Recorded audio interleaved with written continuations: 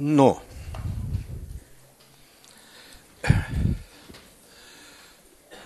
Ugye már a két házi feladat volt, abból az egyik számelméleti természetű volt, röviden szót ejtenék róla, a másik az egyenlőtlenséges, arról majd később fogunk beszélni.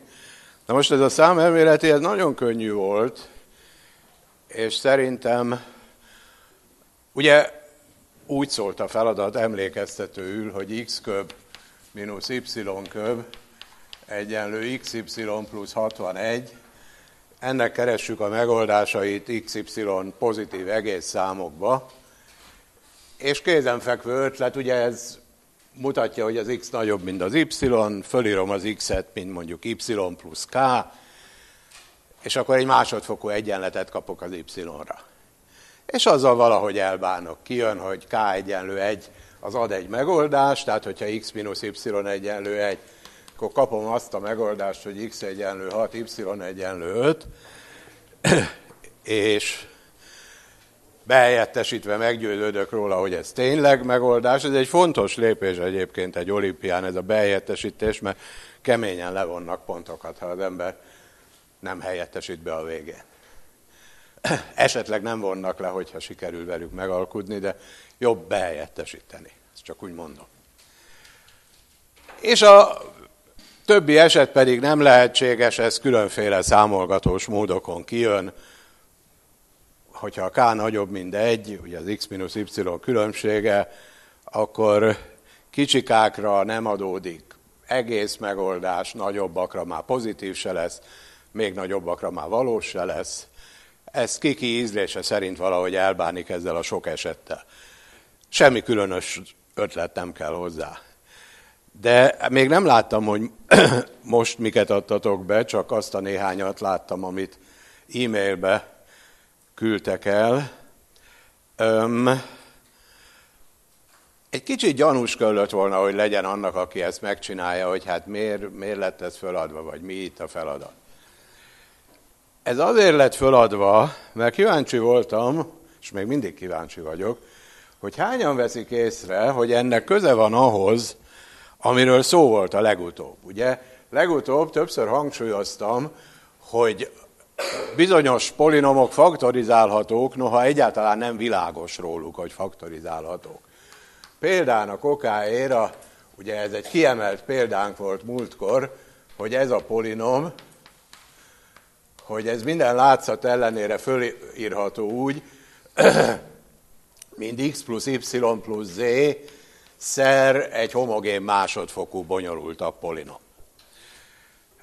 És hát ugye itt ugye három köb összege van, és mínusz háromszor annak a három számnak a szorzata, ami ugye ott egyáltalán nem látszik, de hát az ember esetleg keresi, vagy egy kicsit módosít, hogy, hogy, hogy abból is ilyen kinézetű legyen, és az biztos hasznunkra lesz. És, és így is van, mert hogyha ezzel azt csinálom, hogy megszorzom 27-tel mind a két oldalt, és levonok egyet mind a két oldalból, akkor mit kapok?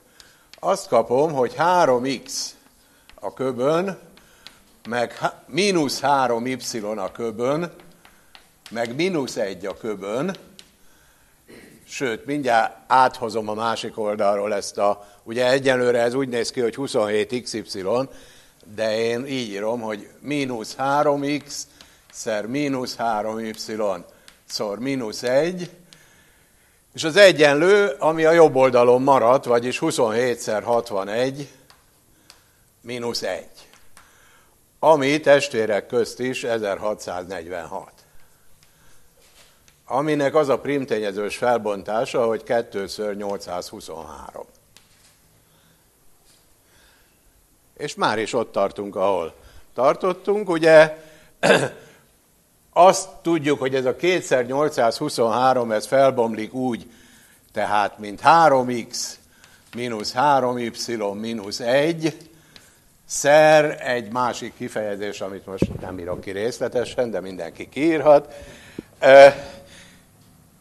És külön-külön az egyes tényezők azok egész számok, mi több pozitív egész számok, mert már láttuk, hogy az x nagyobb, mint az y, És ez a tényező ez sokkal kisebb, mint a másik tényező. Ha elkezdeném kiírni, akkor látnátok, hogy sokkal nagyobb tagjai vannak a másiknak.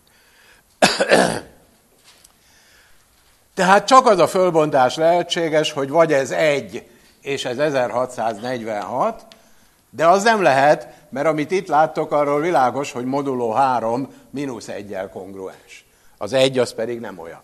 Tehát marad az a másik lehetőség, hogy 2 és 823, vagyis 3x mínusz 3y mínusz 1 egyenlő 2, vagyis x mínusz y egyenlő 1, és ahogy mondtam, akkor kész is vagyunk.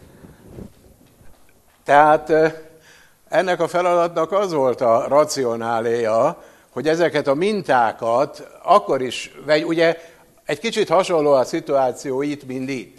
Itt se látszott, hogy kiemelhető az x plusz y plusz z, de nagyon hasznos volt. Itt se látszik ránézésre, hogy ez három köpszám összege, és persze aki nem ismeri ezt a egyenlőséget, annak nincs oka, hogy három köb összegét keressen. Most miért bonyolítana? De hát mivel pont erről volt szó múltkor, és pont ehhez adtam ezt a házi feladatot, azért eszébe juthat az embernek, hogy... Szóval a feladat megoldásnak az egyik értelme, hogy az ember sok ilyen mintával találkozik. És fölismeri a mintákba. De természetesen, ha valaki csak úgy mezei módon csinálta meg, az tökéletes, csak hát mondom, egy kicsit gyanús lehetett volna, hogy nem, nem ez volt az igazi cél. Na ennyit, a, ennyit az egyik házi feladatról, a másik házi feladatra majd e, visszatérünk. És akkor, ahogy abból a másik házi feladatból is már sejteni lehet, a mai témánkat kívánta megelőlegezni. A mai témánk elsősorban egyenlőtlenségek lesz. Na most egyenlőtlenségekről nem úgy, mint mondjuk függvényegyenletekről, arról mindenki rengeteg mindent tud. Mások mást, ez egy kicsit megnehezíti, hogy az ember erről beszéljen, mert óhatatlanul olyanokról beszél, amit némelyek ismernek, mások nem. De,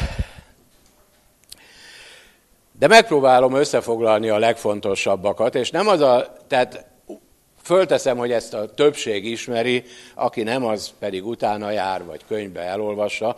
Tehát nem az lesz a fő célom, hogy a, a fontos egyenlőtlenségeket ismertessem, hanem sokkal inkább az, hogy azt szeretném megmutatni, hogy azokból kiindulva hogyan lehet néha nehéz feladatokat megoldani.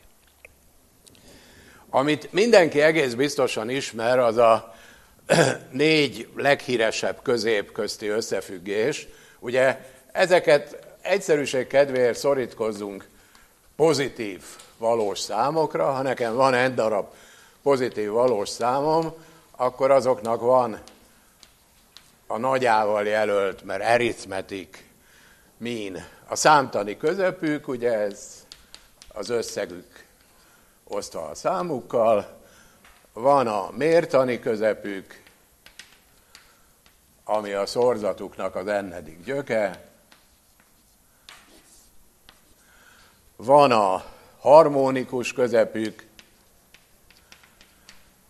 ami a reciprokaik számtani közepének a reciproka, tehát n per 1 per a1 plusz stb. plusz 1 per a és végül van a négyzetes közepük, amit kedvem lenne Q-val jelölni, ez egy elég természetes jelölés lenne, de abból kiindulva, hogy esetleg az angol nyelvű irodalomat olvassátok, ezt általában erre szokás jelölni, mindjárt megmondom, hogy miért, de minden esetre az a szokásos négyzetes közép, tehát a, a négyzeteik számtani közepének a négyzetgyöke vagyis A1 négyzet, stb. plusz AN négyzet per N-nek a négyzetgyöke. És amiért az R betű a használatos jelölés, az az, hogy a várakozással ellentétben angol nyelvterületen ezt nem, nem kvadratik minnek hívják mindig, vagy gyakran nem annak hívják, hanem úgy hívják, hogy root mean square,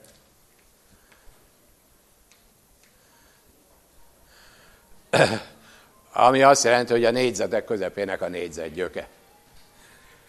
És erről a négy középről köztudomású, hát most direkt így írom provokatívan, hogy H kisebb G, kisebb A, kisebb minden. Bármilyen pozitív valós számokról van is szó, legkisebb a harmonikus, aztán a mértani, aztán a számtani, és aztán a négyzetes. Na most ez akkor igaz precízen, ha a számok nem mind egyenlők, mert ha mind egyenlők, akkor világos, hogy mindezek a közepek egyenlők azzal a számmal, amit n példányba veszek, de ettől az egyesettől eltekintve, hogy mind egyenlők, akkor mind a négy egyenlőség szigorú. Tehát, hogyha nagyon precízek akarunk lenni, akkor így írhatnám, hogy csak a kisebb egyenlő áll fenn, de, de egyetlen jól meghatározott eset kivételével mindig a kisebb áll föl. Na most ezt mindenki tudja, és mindenki nagyon sokszor használta már életébe. Amit nem egész biztos, hogy mindenki tud, hogy, hogy mindezeknek az egyenlőtlenségeknek van egy úgynevezett súlyozott verziója is. Ami szintén igaz, és szintén ez teljesül. Mi az a súlyozott verzió? Hát ugye itt egy forma súlyjal esnek latba mind az n darab érték. Ehelyett vehetjük azt, hogy én választok vevé egy és így tovább vevé n súlyokat, azok mondjuk nem negatívak legyenek azok a súlyok, lehet köztük nulla súly is, ugye, ami nulla súlyjal esik latba, az nem rúg labdába. És akkor a, szám, a súlyozott számtani közép az úgy néz ki, hogy vevé egy A1, stb. plusz vevén AN per a vevék összege, és analóg ötletekkel készül a többi súlyozott. A súlyozott mértani az így néz ki, hogy A1 ad vevé1, stb. AN ad vevé Mellesleg ugye ez azért vevé ez a súly, mert angolul weight. Ennek a na, hanyadik hatványa, hát az egy per szumma vevé ennedik hatványa.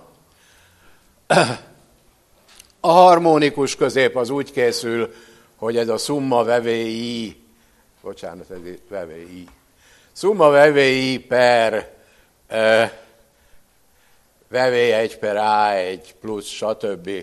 plusz vevé per AN, és végül a súlyozott négyzetes, az pedig úgy készül, hogy vevé egy A1 négyzet, stb. Vevén AN négyzet per e, summa vevéi, annak a négyzet gyöke. Mind a kézenfekvő definícióval, és ezekre a súlyozott közepekre ugyanez igaz, ami itt van, és ugyanúgy Hát itt egy kicsit óvatosan kell fogalmazni, ugye, a, amik nulla súlyjal ö, szerepelnek egy ilyen súlyozott középbe, azok nyilván nem rúgnak labdába, tehát azokra akármi lehet. De mindazok, amik pozitív súlyokkal szerepelnek, azoknak mindnek egyenlőnek kell lenni, csak akkor áll fönn bármelyik esetben az egyenlőség. Ugye ezek, még egyszer mondom, ezek a súlyok, ezek nem negatív valós számok, lehetnek köztük nullák, sőt lehet, hogy sok nulla van. Egy dolog nem lehet, hogy mind nulla legyen, mert akkor az egésznek nincs értelme. No hát ezt valaki vagy hallotta, vagy nem. De nem árt, hogyha tud róla az ember, és ennek illusztrációjaként, ahogy ígértem, most elmondom, hogy hogy lehet a harmadik, idei külságverseny harmadik példáját megoldani, súlyozott, négyzetes és súlyozott számtani középközti összefüggést használva. Ugye a múltkori alkalommal mindenkit buzdítottam, hogy menjen külságversenyt írni. Örömmel láttam viszont jó néhány arcot a tényleg a külságversenyen, de olyan nagyon sok megoldást nem láttam erre a hármas példára mostanáig. Emlékeztetek rá, hogy hogy szólt ez a harmadik külság példa. Azt mondta, hogy van nekem n darab eseményem, A1 és így tovább AN, és a következőket tudom róluk. Egyrészt tudom, hogy mindegyik eseménynek a valószínűsége egy ketted, Másrészt tudom, hogy bármely két esemény együttes bekövetkezésének a valószínűsége az egy negyed. Tehát P, I, metszet, A, J egyenlő egy negyed, ahol I nem egyenlő J. És egy és N között van mind a kettő. és az volt az állítás, hogy lássuk be, hogy ebből következik, hogy annak az eseménynek a valószínűsége, hogy az ák egyike se következik be, az legfőjebb 1 per n plusz 1. Tehát ugye, ha itt formálisan le akarom írni, hogy egyik se következik be, az az A1 tagadása, stb.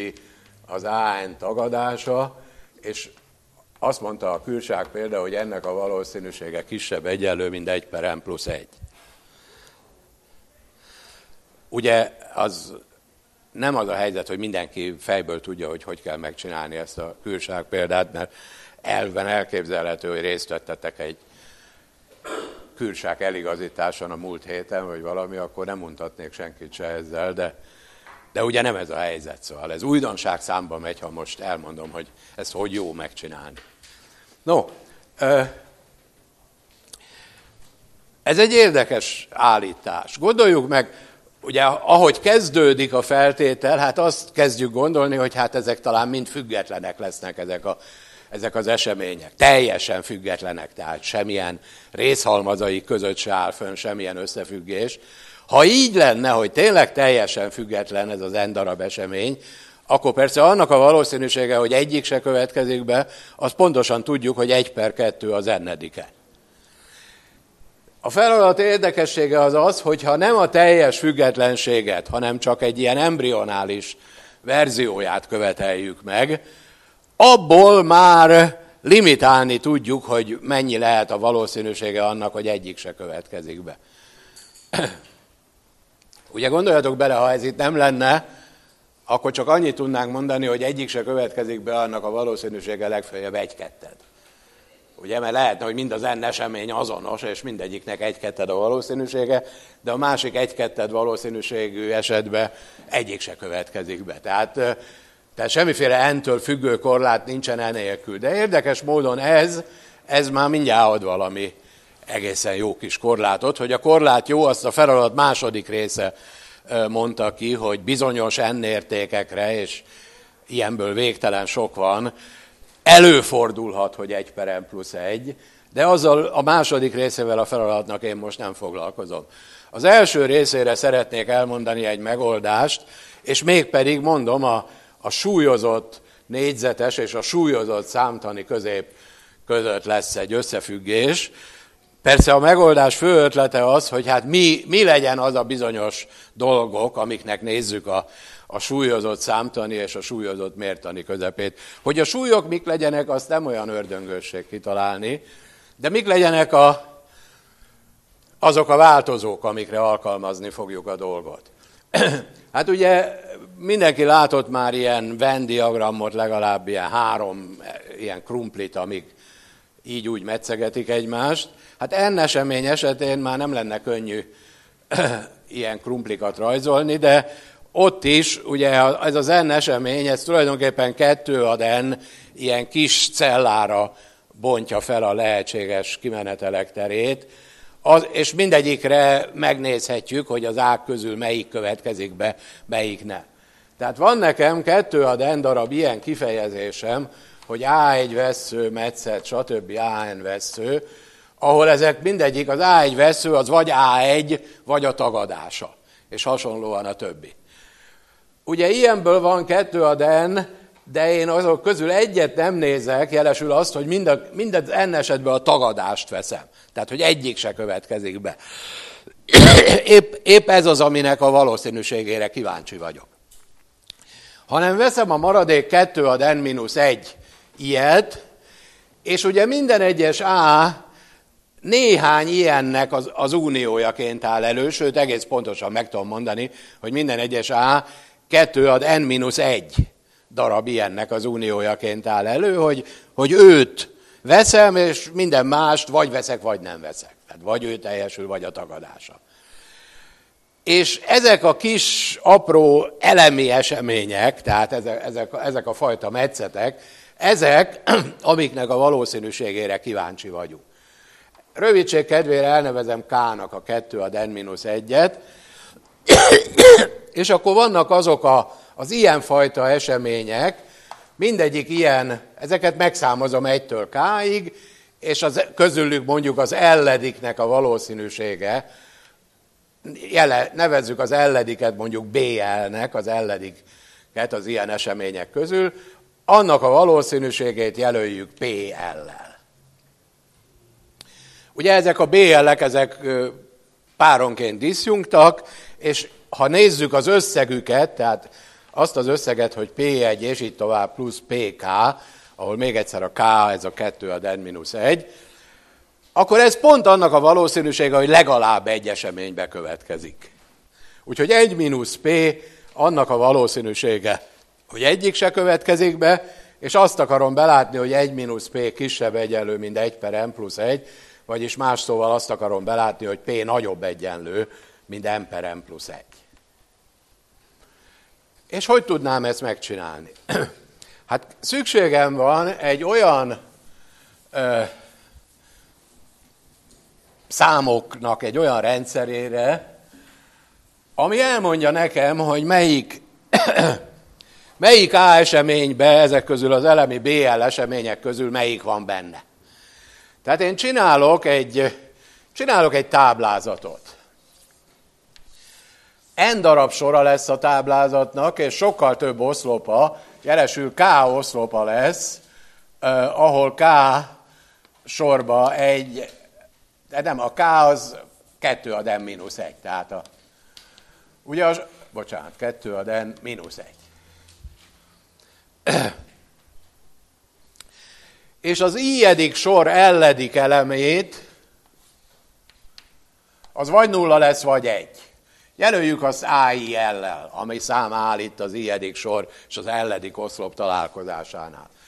És azt mondom, hogy az AIL az legyen egy, hogyha ez a BL elemi esemény, ez része az AI-nek. És legyen nulla, hogyha nem része. Ugye minden ilyen elemi esemény vagy teljes egészében benne van az AI-be, ha az ő definíciójában az AI maga szerepel, vagy diszjunk tőle, hogyha az AI tagadása szerepel. Oké. Okay. És ezek után, ugye nekem van K darab P-m, K oszlopa van ennek a Hát ezt úgy hívják, hogy mátrix, amikor ilyen téglalap alakba elhelyezek számokat, ez nagyon hasznos ilyeneket használni. És most nézem a következő kifejezést, nevezzük azt mondjuk S-nek, ezt most definiálom, hogy mi ez az S. Ez legyen P egyszer, A egy egy, stb. Plusz A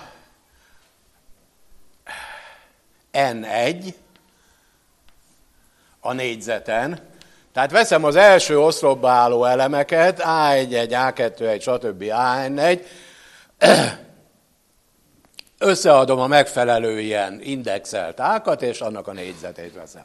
És ezt végigcsinálom mindegyik indexre egytől K-ig. Tehát utoljára az lesz, hogy PK szor A1K, stb. plusz ANK a négyzeten. Tudok-e én valamit erről a, az S-ről? Hát nagyon is. Ezt explicite ki tudom számolni, hogy mennyi ez az S. Meg gondoljuk meg, vegyünk egy konkrét i-t, valamelyiket az események közül, A-t. És nézzük, ugye mindegyik összegben van egy i tag, ami vagy egy, vagy nulla. Ugye amikor egy ilyen összeget kifejtek, hát tudom, hogy akkor mindegyik tagnak a négyzetét veszem, és a kereszt szorzatoknak a kétszeresét. Na most azt, nézem ott azt az AI egyet az elsőbe, annak a négyzete az ővele egyenlő, mert az egy meg a nulla, ez a két szám, ami olyan, hogy a négyzete saját maga. Tehát a, amikor azokat összegyűjtöm, most egyenlőre csak ezeket a négyzeteket gyűjtögetem, akkor egy lesz mindig, hogyha AIL egy, és nulla, ha nulla.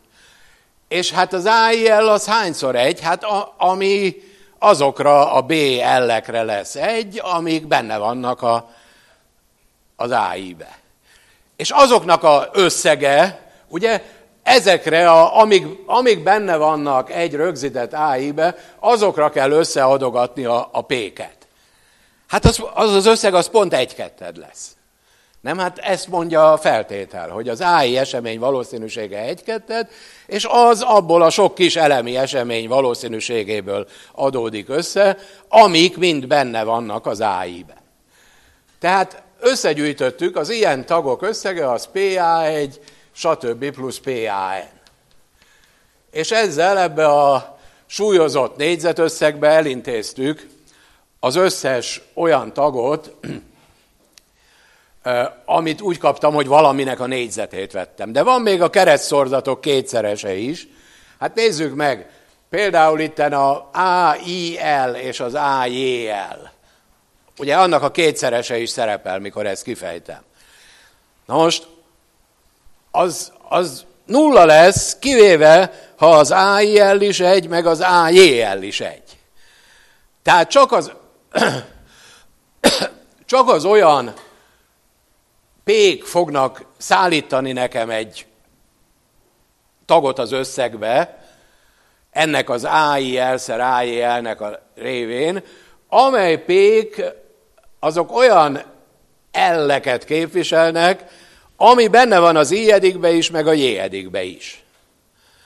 Tehát annyiszor lesz megszorozva ez a P egyel, ahányszor a megfelelő elemi esemény, az a picike, amihez tartozik a P, az beletartozik a, a nagy AI eseménybe is, meg a nagy AI-be is. És ezeket a P-ket összeadom, akkor egy negyedet kell kapnom. Tehát persze ne feledkezzünk el a kettes szorzóról, ami ugye ott van a AIL-szer AIL előtt. Tehát plusz kétszer szumma P AI metszet AI az összes IJ párra összegezve, amik mondjuk így írhatom, hogy kész, ez, ez a nagy S. Hát ezek mindegyike egy-ketted. Tehát ezek szállítanak nekem enszer egy-kettedet. Az n fél. És ezek mindegyike egy negyed, igen. Hány van belőlük? Hát ahányféleképpen kettőt kiválaszthatok az n közül, tehát n alatt a kettő. n-szer n mínusz 1 per 2, meg van szorozva kettővel, ennyiszer egy negyed.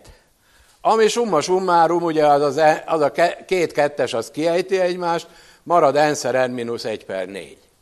Amit, ha tényleg összeadom, ugye az n-szer n plusz 1 per 4. Ügyesen használt láttam ennek a jelölésemnek, hogy amivel leírtam, hogy melyik, melyik elemi esemény, melyik nagy eseményben van benne. Most jön a súlyozott közepek közti összehasonlítás.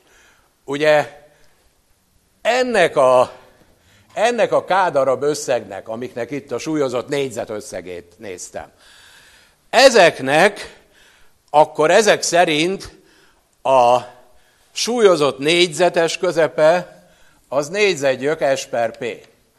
Ugye definíció szerint még itt már megvan ez a súlyozott négyzetösszeg, még el kell osztani a pék összegével, amit ide fölírtam, hogy azt jelöltem kis p-vel.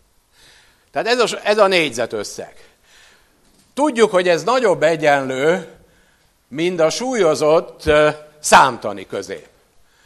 Mi a súlyozott számtani közép? Hát az majdnem úgy néz ki mindez, csak nincsenek itt ezek a kettes kitevők. Tehát arra tulajdonképpen már végigcsináltam a számolást, mert azok ugye azok egyet adnak az olyan pékre, amik olyan elemi eseménynek felelnek meg, amik benne ülnek a, az én áimben, nullát a többiekre. Ez a rész, ez elmarad, ami az előbb volt. Tehát ez egyszerűen ez az összeg.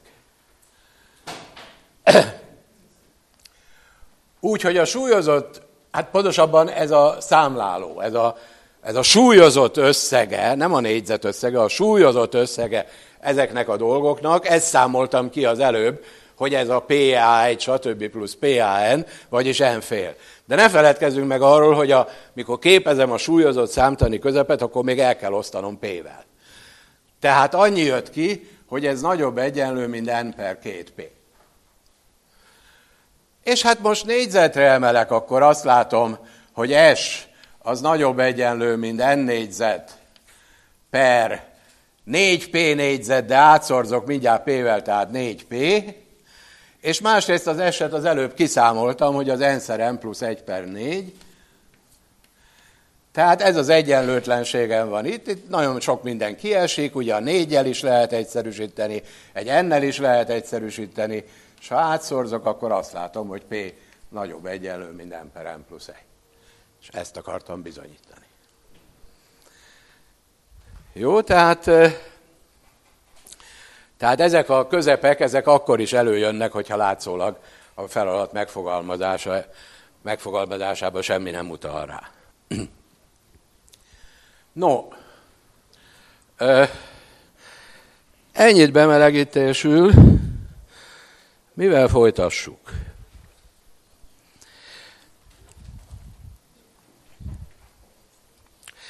Hát talán, a, ha most szavazást rendeznénk, hogy mi a, ugye abba azt hiszem mindannyian egyetérthetünk, hogy a legsűrűbben használt ilyen standard egyenlőtlenségek, ezek a ezen négy leghíresebb középközti egyenlőtlenségek.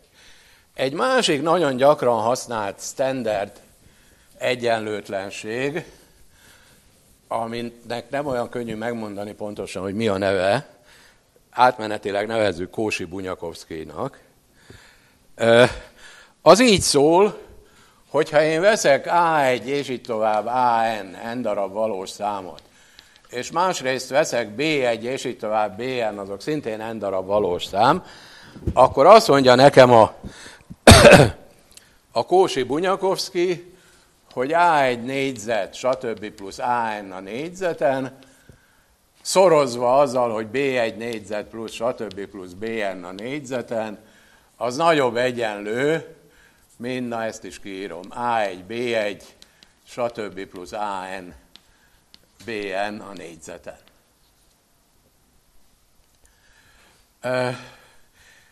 És egyenlőség csak akkor áll fönn, hogyha, hogyha arányosak az ák meg a bék. Tehát mondjuk az ákat azt úgy kaphatom, hogy a, egy rögzített konstanssal végig szorzom a véket. Na most mondtam, hogy ennek a neve az nem olyan könnyű, ugye a kósi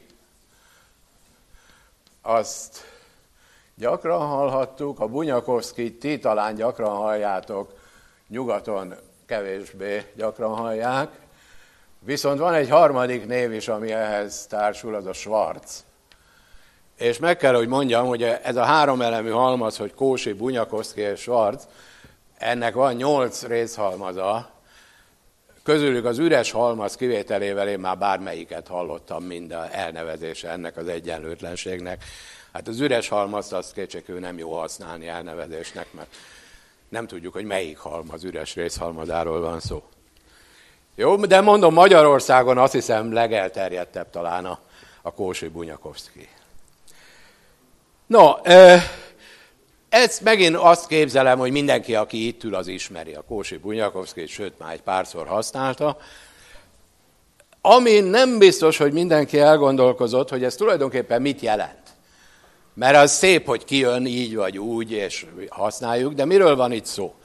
Hát tulajdonképpen ijesztésül úgy mondom, hogy az n-dimenziós térben van egy állítás, de aki nem lát az n-dimenziós térbe, az ne ijedjen meg, mert mindjárt, mindjárt megszabadulunk tőle.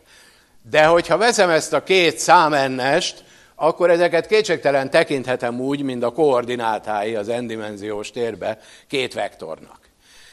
És amit itt látunk, az az egyik vektor hosszának, vagy abszolút értékének a négyzete, ez a másiké, ez pedig itt a skalárszorzatuk. És annak a négyzetét veszem. Na most az a helyzet, hogy ez tényleg az n-dimenziós térbe két vektor, de hát hogyha én csak két vektort nézek, azok ugye egy síkot határoznak meg, és ez az egész dolog abban a síkba történik. Tehát, tehát nyugodtan leszállhatunk a magas lóról, és beleülünk ebbe a síkba, és azt meg, azt meg már mindenki ismeri, hogy mi az, hogy skalárszorzat a síkba, ugye az a vektorok hosszaszorozva a közbezárt szög koszínusza, és világos erről, hogy ez kisebb egyenlő, mint a vektorok hosszainak a szorzata, mert hát a koszinusz az kisebb egyenlő, mindegy. Pláne ha négyzetre emeljük, ugye akkor, akkor sincs gondunk, hogyha negatív a koszinusz. Tehát ez, ez egyszerűen ezt, ezt fejezi ki, hogy a, hogy a skalár szorzata az kisebb egy abszolút értéke, az kisebb egyenlő, mint az egyes vektorok hosszának a szorzata. Hát ez a Kósi Bunyakovszki. Na most, ez a Kósi Bunyakovszki, ez remek alkalom arra, hogy megint megnézzünk egy nehéz példát. Mondom, hogy hogy szól a nehéz példa.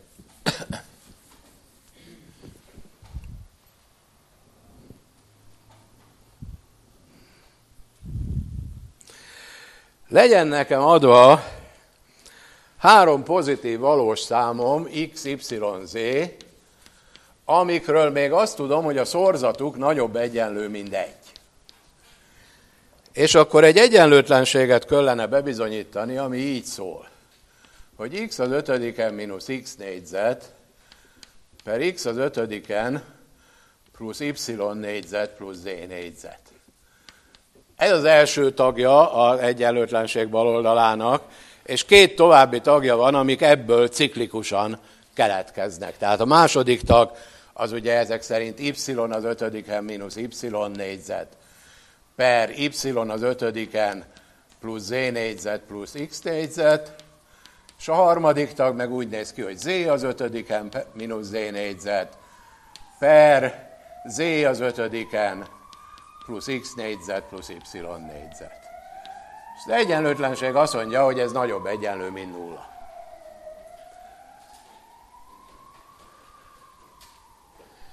Ismeri ezt valaki? Már a morgásból is erre következtettem.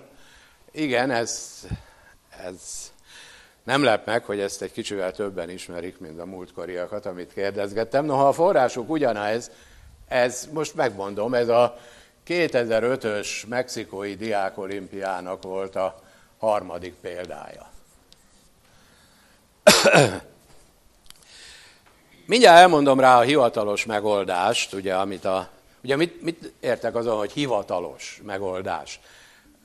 Hát annyit érdemes tudni, hogy az olimpián a kitűzött hat feladatot azt egy úgynevezett shortlistből választják ki, ami körülbelül 30 feladatot tartalmaz, amit meg körülbelül olyan 120-150 feladatból választ ki egy bizottság, amely 120-150 feladatot az egyes résztvevő országok küldték be már hónapokkal korábban. És van egy úgynevezett probléma kiválasztó bizottság, ami ezek közül kiszűri a túl könnyűt, a túl nehezet, az ismertet, a rondát, és stb., és remélhetőleg még mindig marad 30.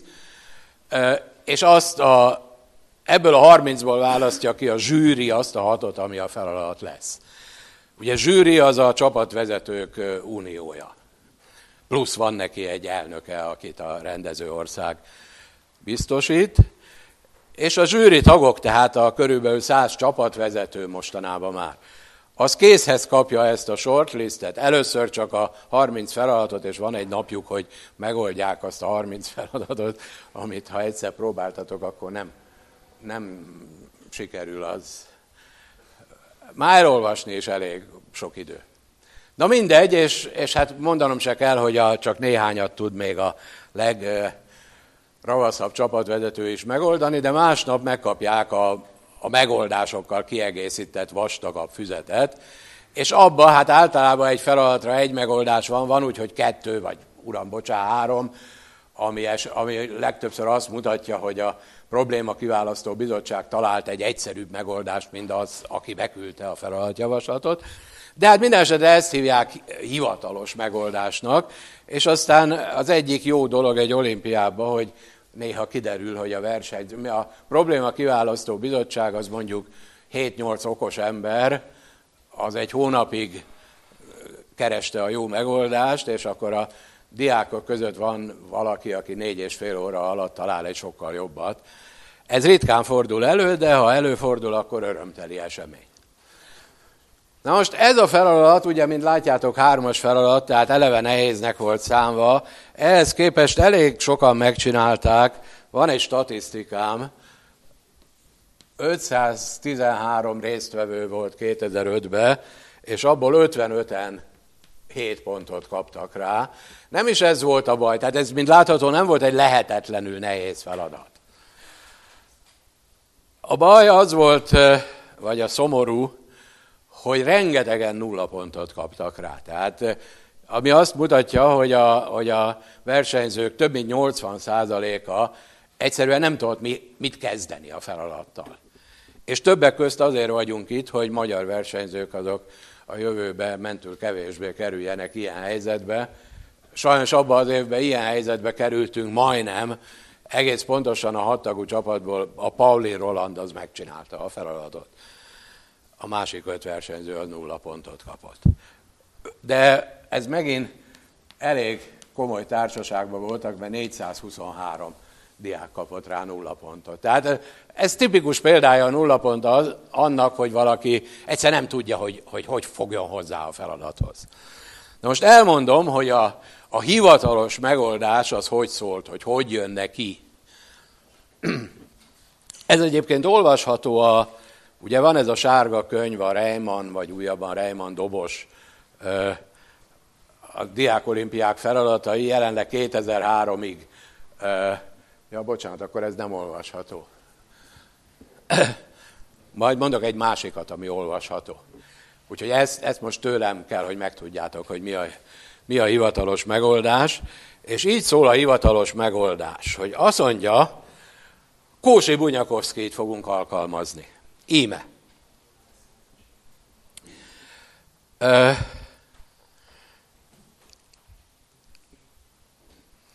Vesszük ezt a szorzatot, hogy x az ötödiken plusz y négyzet plusz z négyzet. Hát ez nem csuda, hogy erre kíváncsiak vagyunk, mert hát ez van itt a nevezőben. Megmondom, az egyszerűség kedvéért nevezük nagy X-nek ezt az egy darab tagot. És ezt az egy darab tagot fogjuk tüzetesebben vizsgálni. Tehát veszem ezt, na most, hogy a másikat miért veszem, azt nem olyan könnyű megmondani, de veszem a másiknak azt, hogy YZ plusz y négyzet plusz z négyzet. És úgy képzelem, hogy ez mind a kettő olyan, mint ami a Kósi Bunyakovszkiba szerepel, tehát egy-egy négyzetösszeg, hát lehet rájuk úgy gondolni, hogy mindegyik egy négyzetösszeg, és akkor megkérdezem magamtól, hogy mit mond a Kósi Bunyakovszki. Ugye hát azt mondja, hogy ez nagyobb egyenlő, mint a skalár a négyzete, és mi is az a skalár szorzat? Hát ugye mindegy, mindennek a négyzetgyökét kell venni. Tehát x ad 5 ketted, szer y z ad 1 ketted, a többi már egyszerű, mert ugye innen is jön egy y, meg innen is, és innen is jön egy z, meg innen is. Tehát ezzel így tekintve rá azt kapom, hogy ez tehát nagyobb egyenlő, mint x ad 5 ketted, szorozva y z ad 1 ketted, plusz y négyzet, plusz z négyzet ennek a négyzete. És most van itt az idő, hogy használjuk ezt a feltételt, hogy x, y, z nagyobb egyenlő mindegy. Hát itt kiemelek x ad egy kettedet, meg y ad egy kettedet, meg z ad egy kettedet. Ez a szorzat, ez ezek szerint nagyobb egyenlő mindegy. Úgyhogy ez az egész dolog nagyobb egyenlő, mint hogyha csak a többit, ami marad, azt nézem, ami pedig pont x négyzet plusz y négyzet plusz z négyzet, mármint hogy annak a négyzete. Hát, ugye, mint látható, úgy körülbelül 55-en jutottak el idáig.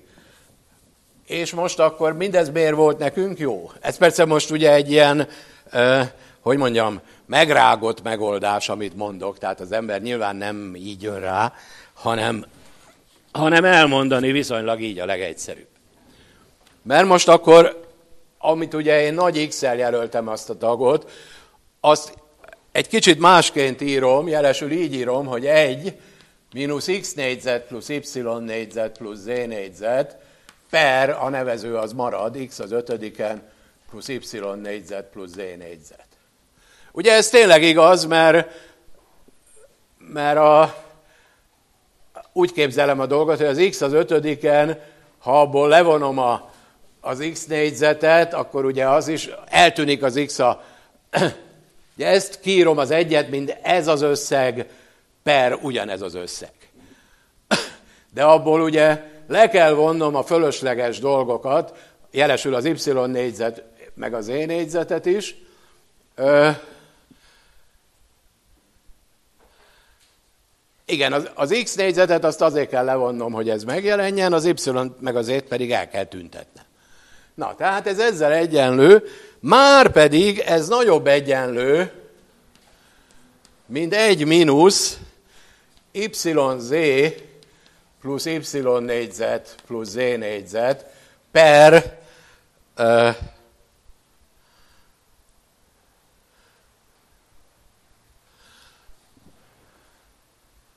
Ja igen, per x négyzet plusz y négyzet plusz z négyzet. Más, vigyázzatok, más a nevező, mint itt. Ez miért nagyobb egyenlő? Hát ugye az egyet elhagyjuk és átrendezünk, akkor ugye azt kell belátni, hogy ez a tört nagyobb egyenlő, mint amaz a tört, vagyis ott meg még keresztbe szorzunk, és pont azt kapjuk, hogy ezt, ennek kell teljesülnie, hogy ez a szorzat nagyobb egyenlő, mint ez a szorzat, és ezt épp az imént láttuk be. Tehát kijött, hogy ez a nagy X ez nagyobb egyenlő, mint ez, és hál' Istennek a ciklikusság miatt ugyanilyen dolog érvényes a nagy Y-ra, hogy az is egy ilyen dolognál nagyobb egyenlő, meg a nagy zére, csak persze a, ott is ciklikusan megváltoznak a jelölések. Hát a nevező az nem változik, az végig x négyzet plusz y négyzet plusz z négyzet. Háromszor összeadom az egyet, az három, levonom belőle azt az ilyen, meg a másik kettő, ugye az végül is egy kilenc tagú összeg per x négyzet plusz y négyzet plusz z négyzetet. Na most abból a számlálóba kétszer előjön majd az y négyzet is, az e négyzet is, meg az x négyzet is, per ugyanez, tehát az a háromból eltüntet kettőt, és marad az, hogy azt az egyet kellene belátni, hogy az egy mínusz xy plusz yz plusz zx per x négyzet plusz y négyzet plusz z négyzet, hogy az nagyobb egyenlő, mint nulla, vagyis átszorozgatva, hogy x négyzet plusz y négyzet plusz z négyzet, hogy az nagyobb egyenlő, mint xy plusz yz plusz zx. És ez meg köztudomású, illetve, és most lehet, hogy megkövetem a, az egyik egyenlőtlenséget, amire eddig nem említettem, pedig lehet, hogy az többször használja az ember, mint a, Csebi, vagy a Kózsi Bunyakovszkit. Ez, amit talán magyarul úgy hívnak, hogy rendezési tétel. Én őszintén szóval angolul gyakrabban találkozom vele, hogy rearrangement inequality,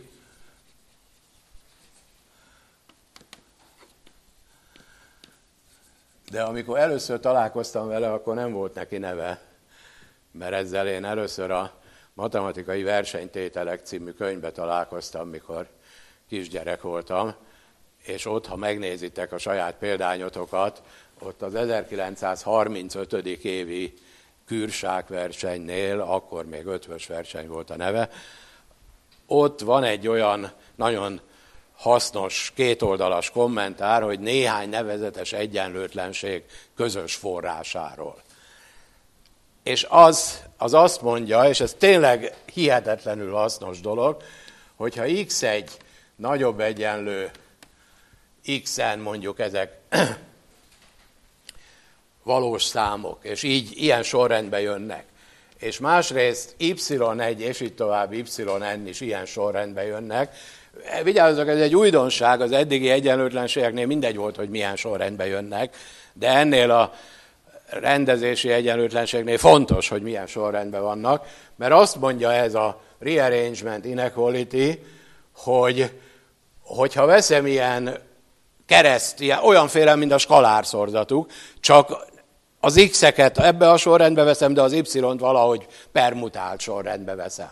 És kérdezem, hogy az így kapott ilyen skalárszorzatok közül melyik a legnagyobb, illetve melyik a legkisebb, és a válasz az, hogy a legnagyobbat akkor kapom, hogyha ebbe a sorrendbe szorzom őket össze, tehát a summa xi, yi, i megy egytől ennig, az a legnagyobb, tehát nagyobb egyenlő, mint minden más lehetséges summa i megy egytől ennig, xi szer y hát mondjuk szigma i, ahol szigma jelenti egy permutációját az 1-2-en dolgoknak, bármelyiket, és ez nagyobb egyenlő, mint, mint hogyha pont a fordított sorrendbe szorzom őket össze. Tehát a legnagyobb x-et a legkisebb y-nal, második legnagyobbat a második legkisebbel, stb. Amit hát könnyű leírni, hogy szumma i megy egytől n-ig, x i szer, y index n plusz 1 mínusz i. Tehát ez a legnagyobb és ez a legkisebb.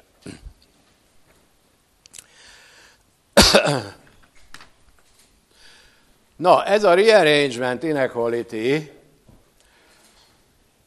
ezt azért hoztam most szóba, mert ez az, ami talán a legegyszerűbb. Hát ezt, nézzétek, ebbe a témakörbe tipikus, hogy, hogy minden nagyon sokféleképpen meg lehet csinálni, vagy nem minden, de a legtöbb dolgot. Tehát, tehát rendszerint, ami kijön Kósi Bunyakovszkijjal, az mit tudom én, kijön a Jensen egyenlőtlenséggel is, stb. stb. De, de ez, amit mondom, sokféleképpen, ez annyira egyszerű dolog, hogy sokféleképpen lehet csinálni, de tényleg a rearrangement inequality az, ami a legmelbevágóbban mutatja, hogy igaz, mert itt arról van szó, hogy az XYZ ördög tudja, hogy minekik a sorrendjük. De minden esetre ugyanaz a sorrendjük, mint nekik saját maguknak. Tehát ha így szorzom őket össze, akkor épp azt csináltam, hogy a legnagyobbat a legnagyobbal, a második legnagyobbat, stb. Ez meg egy másik sorrend.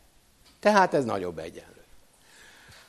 Úgyhogy ezzel elmondtam ennek a feladatnak a megoldását, Mondom, utólag már egy picit azért esetleg az ember valamit belemagyarázhat, hogy miért nézte ezt másiknak, mert látta, hogy valami olyasmit akar, amik majd így ciklikusan egy már kezelhető, sokkal egyszerűbb egyenlőtlenségre vezetnek vissza.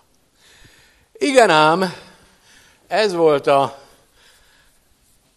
kiókumulált legjobb bizonyítás, amit sok ember csinált, Viszont a versenyen Jurije Borejko megérdemli, hogy ideírjam a nevét, még hogyha kicsit váratlan helyesírással is van írva, ez a Moldovai Köztársaság versenyzője volt. Jurije Borejko a következő megoldást találta. Nézte, ő is ezt a nagy X-et nézte. Ez, egy, ez önmagában is már egy, egy lépés a megoldáshoz, hogy bizonyos egyenlőtlenségeket, van olyan egyenlőtlenség, amit nem lehet szétbontogatni, és külön-külön a részeivel csinálni valamit. De az ilyen ciklikus összegeknél elég gyakori, hogy egy tagját vesszük úgy közelebbről szemügyre, és, és azt esetleg valahogy meg tudjuk becsülni valamivel, és ha szerencsénk van, akkor az a valami olyan, hogyha a másik két tagra is a hasonló dolgot végigcsináljuk, akkor nagyon sok minden kiesik, mint például itt, és egy könnyen kezelhető dolog lesz. Tehát Jurije Borejko azt mondta, hogy ez a tag, amit itt láttok, ez, hogy ez nagyobb egyenlő, mind a számlálóhoz nem nyúlt, viszont a nevezőt azt így alakította, hogy x köb per x négyzet plusz y négyzet plusz z négyzet. Na most egy picit gondolkozzunk. Ugye a feltétel az itt látható. Ettől például lehetne, hogy mind a három, az x, y, z mindegyike nagyobb, mint egy. Akkor az egyenlőtlenség teljesen érdektelen. Ugye hát a, a nevezők azok nyilván mind pozitívak, és hogyha az x egynél nagyobb, akkor az x az ötödiken mínusz x négyzet, az is pozitív, tehát napnál világosabb dolog. Az ügy akkor kezd érdekes lenni, hogyha ugyan a háromnak a szorzata nagyobb egyenlő mindegy, de közülük egy vagy akár kettő is negatív. Mert hogyha, bocsánat, nem negatív, hanem, hanem kisebb mindegy. Ugye azt föltettem, hogy mindegyik pozitív. Tehát, hogyha mondjuk az x kisebb mindegy, akkor az x az ötödiken mínusz x négyzet az egy negatív szám. És nem olyan világos, hogy a, mondjuk esetleg egy meglévő pozitív tag az miért védi ki a két negatívat, mondjuk. De épp erről van szó, hogy amit a Borejko csinál, csinált, az micsoda? Ha az x nagyobb mindegy, tehát a számláló pozitív, akkor ugye az x az ötödikent változatlanul hagyta, de az y négyzetet meg az e négyzetet megszorozta x köbbel, tehát egy egynél nagyobb számmal. Tehát a nevezőt növelte, tehát a tört csökkent, ahogy az állítja.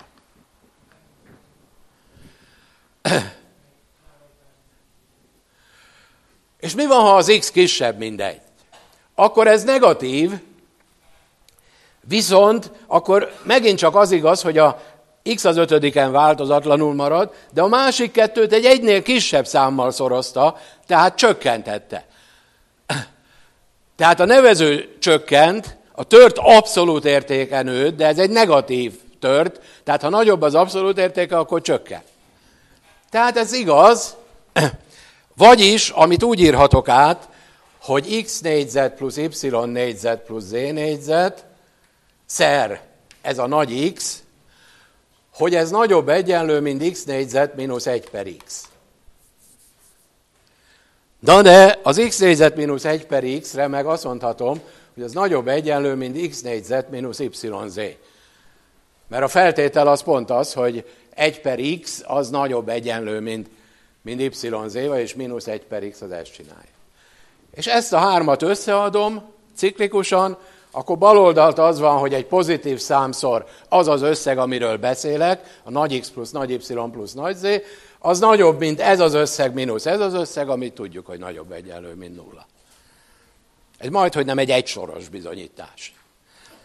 Na ezért, ezért a Jurije Borejko külön díjat kapott, és mai napig ez az utolsó külön díj, amit olimpián osztottak. Régen még könnyű kézzel osztogatták a külön díjakat, de újabban már sok év eltelik, de úgy érezte a zsűri, hogy ez, ez a két másik nehéz feladat társaságába kitalálni ezt a megoldást, ez megér egy külön díjat. No, még lekerekíteni, amit az előbb mondtam a, erről a rendezési egyenlőtlenségről, nagyon sok más ö, ismert egyenlőtlenség nagyon könnyen kijön belőle. Közte hadd említsek meg egyet, amit viszonylag ritkábban szoktunk használni, de azért ez is egy hasznos egyenlőtlenség, amit úgy hívnak, hogy Csebisev egyenlőtlenség. Ami úgy szól, hogy veszünk két darab szán ennest, és ez is egy olyan dolog a Csebisev egyenlőtlenség, ahol fontos, hogy milyen, mi a nagyság szerinti sorrendjük. Tehát egyrészt x így csökkenő sorrendben van írva, másrészt y, és akkor azt mondja a Csebisev egyenlőtlenség, hogy ezen feltételek mellett x1, y1 plusz stb. plusz xn, yn per n, hogy az nagyobb egyenlő, mint az x-ek összege per n, szorozva az y-ok összege per n. És látjátok, hogy ez hogy jön ki a, ebből a rendezési egyenlőtlenségből, hogy ugye ez a szorzat, ez, mint tudjuk, a legnagyobb, vagy hát egyike a legnagyobbaknak, hát ott lehet több egyenlő, pláne ha sok egyenlő van a x-ek vagy az y-ok között. Ez az egyik legnagyobb szorzat, és most akkor azt csináljuk, hogy így ciklikusan odébb, odébb toljuk, persze ami a végén lemaradt, azt visszarakjuk az elejére, hogy, hogy permutáció legyen, és mindegyik szorzatot elkészítjük, tehát például azt, hogy x1, y2 plusz x2, y3, stb. És azok mind kisebb egyenlők ennél. És hogyha ezt mindegyiket megcsináljuk, akkor kaptunk ilyen n skalárszorzatot, amik épp nem egyebek, mint hogyha ezt kifejtjük disztributivitással. És ugye az az n az mindegyik nagyobb egyenlő, mint ezek, és hogyha azt az egészet leosztjuk n négyzettel, mert ugye a bal oldalt n-szer szerepel mindig ugyanez. Leosztjuk n négyzettel, akkor éppen ezt kapjuk. Stb. Van még sok más híres egyenlőtlenség. Most uh, eredeti tervem szerint uh, sokra közülük kitértem volna, de ahogy az idő megy, úgy látom, hogy, hogy nem mindegyiket tudom sorra keríteni de hát azért lesz még itten jó pár dolog, amivel találkozunk. Na most ideje sort keríteni a házi feladatra. És ottan, hát először is ért egy meglepetés, ami hát persze alapjában kellemes meglepetés, de nem számítottam rá, hogy nagyon sokan ismernek egy lemmát, amit jól lehet használni ennek a feladatnak a megoldásába. Kezdjük talán előről, vagy hogy mondjam, az elejéről. A házi feladat maga, ugye emlékeztek rá, az úgy szólt, hogyha A1, stb. A6, az 6 darab pozitív szám, akkor A1 per A2 plusz A3, és ugyanez sorba ciklikusan mind a hat ilyen kifejezést fölírom, hogy ez nagyobb egyenlő, mint három. Ez volt a házi feladat. Na most világos, hogy itten valami általános, minden enre megfogalmazható állításnak az n egyenlő hat speciális esetéről van szó. Jelesül egy ilyen ciklikus összegről, hogy A1 per A2 plusz A3, tehát n darab számon van inkább, nem 6. Azok mind pozitív valós számok. És vezem ezt az összeget, hogy ugye, és a végén az utolsó néhány tag, ami kérdéses lehet, azokat még kiírom, hogy an-2 per an-1 plusz an, plusz an-1 per an plusz a1, tehát arról van szó, hogy az indexek azok moduló n ciklikusan tekintendők, és a legutolsó tag az az, hogy an per a1 plusz a2. Ugye ennek a speciális esete volt a házi feladat n egyenlő 6-ra, hogy úgy mond, ez nagyobb egyenlő, mint n fél. Na most, miért hatra adtam föl? Hát mert úgy satszoltam, hogy az a jó nehézségű házi feladat, de hát ezt nézhetjük kisebb ennekre is. Hát, hogy egész őszinték legyünk, ugye ezzel a konvencióval, hogy ezek az ák, ezek modulo n ismétlődnek, ezzel a konvencióval akár még n egyre is fölírhatom, csak hát akkor elég szegényes dolog adódik, mert akkor A1, és ezek ismétlődik, hogy A1 plusz A1, hogy ez állítólag nagyobb egyenlő, mint egy ketted, hát ez igaz. Egyenlőség mikor áll fönn? Akkor, ha A1 egyenlő saját magával. Jó, szóval ez csak vicc, de, de minden esetre igaz. Na most n egyenlő kettőre már tulajdonképpen mond valamit a dolog. A1 per A2 plusz A1, plusz A2 per A1 plusz A2. Ugye itten, már itt megint jön az A1, mert hát az következik az A2 után. Hogy ez állítólag nagyobb egyenlő, mint egy, ez a speciális esete. Hát ez megint csak igaz. Méghozzá igaz minden A1, A2-re, ami egy kis intőjel lehet azoknak, mondom, még nem láttam a kézzel beadott házi feladatokat, de a egy-kettőt kaptam e-mailbe is, azokba fölbukkant az, ami miatt itt óvatosnak kell lenni. Tudnék, itt bármilyen A1 és A2 esetén triviálisan egyenlőség van, A1 plusz A2 osztva saját magával az egy. Na, az első, ahol valamit mond a dolog, az az n egyenlő 3, és azt most kivételesen nem ezzel az indexes jelöléssel írom föl, ami ugyan praktikus általános n de konkrét kisennekre egy kicsit körülményes, hanem fölírom, hogy arról van szó, hogy A per B plusz C plusz B per C plusz A plusz C per A plusz B, hogy az nagyobb egyenlő, mint három kettet. Ezt mondja a dolog,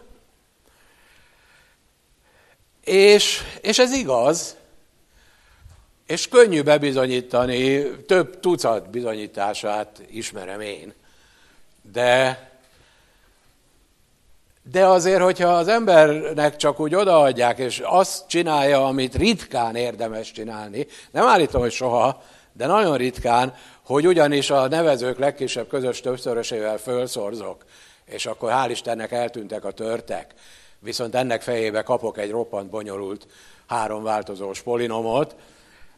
Tehát mondom, ezt általában nem érdemes csinálni, és hogyha valaki itt mégis megcsinálja, akkor könnyen egyre sűrűbb erdőbe találhatja magát. Tehát addig-addig alakítgatja, hogy, a, hogy csak nem akar kijönni semmi. De hogyha egy kicsit szintetikusabban közelítjük meg a dolgot, mutatok egy erre az esetre használható bizonyítást. Vegyük azt a trükköt, hogy itt a számlálóba bevesszük azt is, hogy plusz B plusz C, itt bevesszük azt, hogy plusz C plusz A, stb. Tehát valójában mit csinálunk? Azt csináljuk, hogy ehhez is hozzáadok egyet. Ugye? Csak ebbe az a lényeg, hogy milyen formába adom hozzá az egyet. B plusz C per B plusz C formába, akkor kapom azt a vele ekvivalens egyenlőtlenséget, és ez fontos, hogy ekvivalens, aminek az a nagy előnye van, hogy a számlálói azok végig ugyanazok.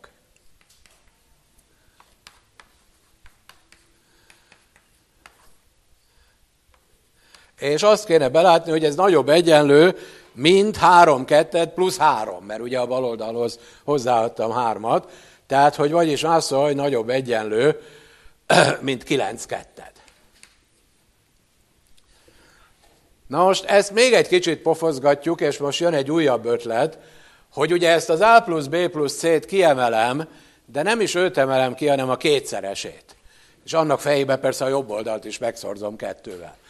És most ravaszul úgy írom, hogy A plusz B, ezt a kétszerest, plusz B plusz C, plusz C plusz A, hogy úgy mond, ez meg van szorozva azzal, hogy 1 per B plusz C, plusz 1 per C plusz A, plusz 1 per A plusz B, és azt az ekvivalens állítást kaptam, itt csupa ekvivalens dolgokról van szó, hogy ez nagyobb egyenlő, mint 9. És ezre most már végre ráismerek valamire, hát ez nyilván igaz, hát például ez többféleképpen is látszik. Például átosztok hárommal, ezt elosztom hárommal, és marad három, ezt meg oda átviszem a nevezőbe, akkor épp a számtani és a harmonikus középközti összefüggésről van szó. Még az egyenlőséget is meg tudom mondani, hogy csak akkor állhat fönn. Hát csak akkor állhat fönn, ha A plusz B egyenlő B plusz C egyenlő C plusz A, de hát abból nyilván következik, hogy A egyenlő B egyenlő C. Jó, tehát, tehát bebizonyítottam, sőt megállapítottam, ugye ha mind a három egyenlő, ugye ez az n-re is igaz, hogy, a, hogy ez ha igaz, akkor nyilván egy éles állítás, mert ha csupa egyet helyettesítek be, akkor a baloldal nyilván nem fél. Na, de aki akarja például, ugye itt megint vegyük észre, hogy a bizonyos számok reciprokai, azok pont a fordított sorrendben vannak, mint az eredeti számok. Tehát amikor egy ilyen látunk, hogy valamiknek az összege plusz a reciprokaiknak az összege, arról ahhoz nem kell számtani és harmonikus közép, ahhoz elég a rendezősi egyenlőtlenség. Csak az a része, hogy mi a legkisebb skalár-szorzat. Ugye, mert amikor éppen mindent a saját reciprokával szorzok, akkor épp a fordított sorrendbe szoroztam őket össze. És mindent a saját reciprokával megszorozni az egy, tehát amit kapok, az az, hogy hányan vannak. Tehát akármiknek az összege szer a reciprokai összege, az nagyobb egyenlő, mint a számuk. Mármint a számuk négyzete. Mert ugye az, a számukat kapom, ha pont fordítva szorzom, és legalább annyit kapok a másik n-1 fajtájú szorzásnál. Na, ez megvan. Na most ugye nyilván nem ezt adtam föl, mert ez nagyon könnyű. De nézzük, hogy igaz-e négyre. És ottan talán már azért használom az indexes jelölést, mert azért ami sokat sok. De mielőtt neki kezdenék a négynek, és az ötnek, és a hatnak, szeretnék egy nagyon hasznos lemmát ismertetni. És a meglepetés, amit hivatkoztam, az az volt, hogy úgy tűnik, hogy ti ezt ismeritek, ezt a lemmát. Így szól a lemma, hogyha A és B tetszőleges valós számok, és X és Y meg pozitív valós számok, akkor A négyzet per X plusz B négyzet per Y az nagyobb egyenlő, mint A plusz B a négyzeten per X plusz Y.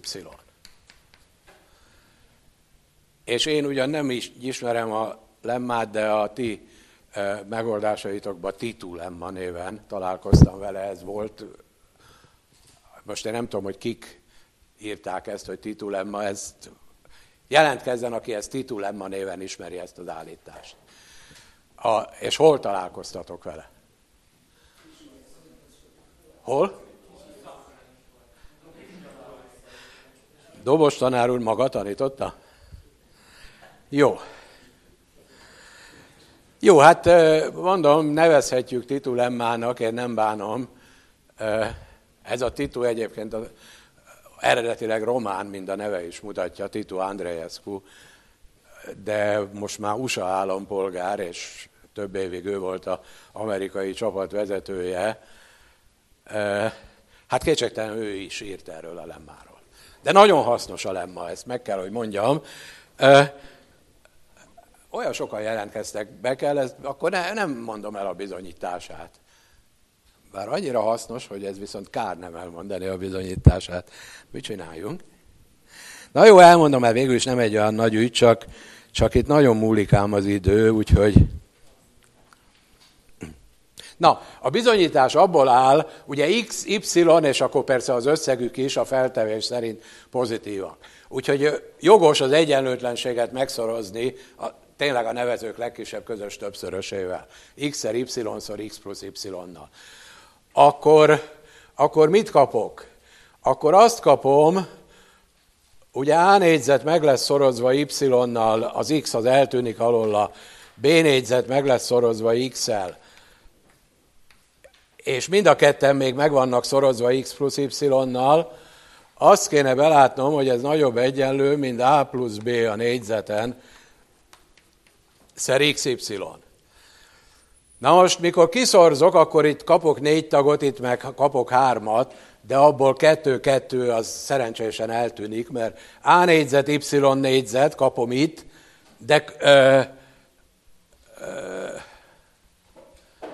nem, az megmarad éppen, hogy megmarad, az A négyzet, Y négyzet. Hasonlóan megmarad a B négyzet, X négyzet a bal oldalon. Viszont van egy olyan, hogy A négyzet, YX, és van egy olyan, hogy B négyzet YX, és azok a jobb oldalon is vannak, azokat eltüntethetem. Tehát ha ezt mind elvégzem, ezt a egyszerűsítéseket, akkor az marad, hogy A négyzet plusz Y négyzet plusz B négyzetszer X négyzet, hogy az nagyobb egyenlő, mint két AB szer XY. Ennek kell igaznak lenni, na de ez meg hál' Istennek igaz, mert ez pont azzal ekvivalens, hogy AY mínusz bx a négyzeten nagyobb egyenlő, mint nulla. És persze mindent szokás szerint fordítva kell végigcsinálni, hogy ez igaz, tehát ez igaz, tehát hozzáadom, amit hozzáadok, tehát ez igaz, és akkor lehoztok izével, és ez igaz. Na, ennyit a lemmáról. Szerencsére ez egy olyan természetű lemma, hogy magától ismétlődik. Tehát most, ha ugye szerencsére, ha még ehhez egy harmadik C négyzet per Z-t is hozzáadnék, akkor alkalmazva a két tagról szóló lemmát azt kapom, hogy A plusz B plusz C a négyzeten per X plusz Y plusz Z. És így tovább. Hogy ez mennyire hasznos, azt mindjárt ezen a ciklikus egyenlőtlenségen fogjuk illusztrálni, mert most n egyenlő négyre mit is mond ez a ciklikus egyenlőtlenség? Hát azt, hogy A1 per A2 plusz A3 plusz, és a többiek ciklikusan, azt mondja, hogy ez nagyobb egyenlő, mint kettő. Na most, hogy alkalmazhassuk ezt a lemmát, hát a számlálóban egy négyzetnek kell lenni, ami leghamarabb úgy teljesül, hogy A1-jel bővítem a számlálót és a nevezőt. Ugye, akkor A1 négyzet plusz ez, hasonlóan a következőt még kiírom, hogy lássuk. A2 négyzet per A2-ször A3 plusz A4, stb. Tudni szeretném, hogy ez nagyobb egyenlő, mint kettő, még nem tudom. De alkalmazom a lemmát, és azt kapom, hogy A1 plusz stb. plusz A4 a négyzeten per, és most akkor számba kell venni, hogy mi minden, ugye? Nyolc dolog összege lesz a nevezőbe. Legegyszerűbb, ha gyorsan felsoroljuk őket. Lesz A1, A2 és A1, A3, aztán lesz A2, A3 és A2, A4, aztán lesz hasonlóan A3-szor A4 és A3-szor A1, ami már egyszer volt, úgyhogy aláhúzom, hogy másodszor is lett, és a legutolsó ugye az meg A4 van szorozva A1 plusz A2-vel, hát az A4, A1 azt leírom, de az A4, A2 az már volt egyszer, van még egyszer. Jó, tehát hat dolog egyszer, a hat dologból négy egyszer, és kettő kétszer fordul elő, mikor a nevezőket veszem. Tehát ez a négyszer izé plusz kétszer két izé. Hogy úgy mond, ez nagyobb egyenlő, mint kettő, vagyis hát bátran, bátran átszorozgathatunk, és azt látjuk, hogy azt kellene belátnom, na hol van, mondjuk ide próbálom írni, ha ez megfelelő. Tehát azt kéne belátni, hogy ez a plusz A4 a négyzeten, az gyorsan kifejtem. Az ugye A1 négyzet, stb. plusz A4 a négyzeten, mínusz kétszerese a kettes szorzatoknak, hogy A hiszer AJ. Bocsánat, nem mínusz, hanem plusz. Ez, ezt kapom ebből. És azt kéne belátni, hogy ez nagyobb egyenlő, mint kétszerese ennek a dolognak, tehát az a négy tag, az megszorzódik kettővel, és az a, tehát nem tudom, hogy jelöljem, hogy szum, a négy tagú összeg, és viszont ez a két tag, ez négyel szor, szorzódik meg, tehát plusz négyszer, ki is írom, hogy mi, A1, A3 plusz A2, A4. És nagyon kedvezően alakulnak a dolgok, mert ugye az a maradék kettő is előfordul itt kétszer, meg a másik oldalon kétszer. Azokat mind kiegyszerűsíthetem, és összesen csak azt kell belátni, hogy a négyzet összeg, hogy A1 négyzet plusz A2 négyzet plusz A3 négyzet plusz A4 négyzet, mínusz áthozom, ami megmaradt ezekből, tehát mínusz 2 A1 A3, mínusz 2 A2 A4, hogy ez nagyobb egyenlő nulla. Márpedig ez igaz, hiszen ez pontosan az A1 mínusz A3 nak a négyzete plusz az A2 mínusz A4-nek a négyzete. Az tényleg nagyobb egyenlő nulla, és egyenlőség csak úgy állhat fönn, hogy A1 egyenlő A3 és A2 egyenlő A4. Tehát a két páratlan indexű megegyezik, és a két páros indexű, akkor viszont egyenlőség áll fönn, és ezt rögtön nézzünk rá erre a dologra. Ha itten az n páros, és minden második A, mondjuk az A1, A3, stb., az mind A, és minden második a, a A2, A4, stb., az meg mondjuk mind B, akkor minden nevező két egymás utáninak az összege, tehát egy A plusz B. És, és a számlálók meg sorba A plusz B per A plusz B az egy, a következő is egy, stb. Tehát, tehát a, a páros ennek tényleg a felét kapjuk. Úgyhogy nem igaz az, hogy, hogy ebbe az egyenlőtlenségbe, ha egyáltalán igaz, hogy akkor benne az egyenlőség csak akkor állhat fönn, ha mind egyenlők. Ez páratlanra, vagy legalábbis háromra kijött, de párosra van egy másik lehetőség is, hogy egyenlőség álljon fönn. Ez csak figyelmeztetésül. Na, tehát ezt a lemmát, nevezzük ezt hasznos lemmának, jó? Ez nekem egy jó elnevezésnek tűnik. A hasznos lemma kihozta n egyenlő négyre. Mi újság van n egyenlő ötre? Ugye egyre nehezebb dolgokat, vagy hát legalábbis egyre többet kell írni, próbálunk megcsinálni, tehát ötre azt kéne, hogy A1 per A2 plusz A3, stb. Az utolsó úgy fog kinézni, hogy plusz A5 per A1 plusz A2, hogy ez úgymond nagyobb egyenlő, mint 5 kettet. A trükköt már ismerjük, bővítjük a megfelelő dolgokkal, hogy így nézzen ki, hogy valaminek a négyzete per egy pozitív szám, alkalmazzuk a hasznos lemmát, és ott járunk, hogy A1 plusz A5. Ugye alkalmazzuk, az azt jelenti, hogy alulról becsüljük ezzel, és hogyha azt az újonnan kapott dolgot aztán alulról tudjuk becsülni 5 ketteddel, akkor kész vagyunk. Tehát A1 plusz A5 a négyzetem per, és mi jön a, ezeknek mindnek az összege, az jön a nevezőbe, de hát az hál' Istennek a, most a legszebb a szituáció. Nincs ez a kis aszimetria, hogy bizonyosak más multiplicitással fordulnak elő.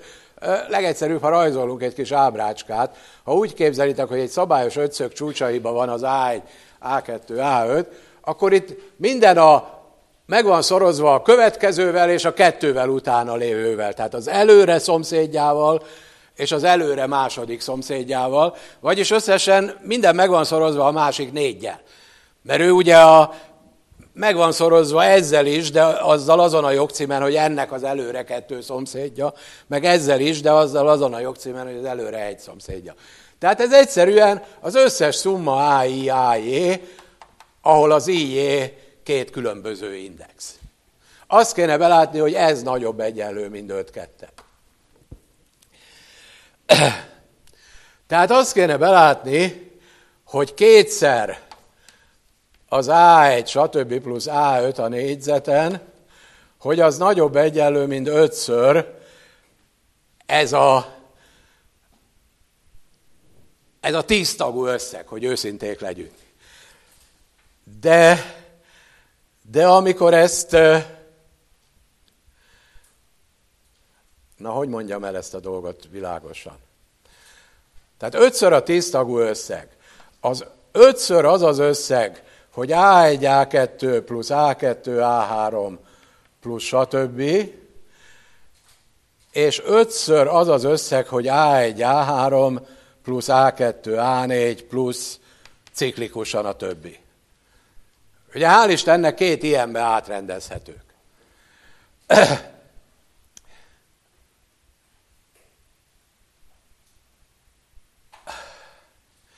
És amikor ezt kifejtem, akkor mit kapok?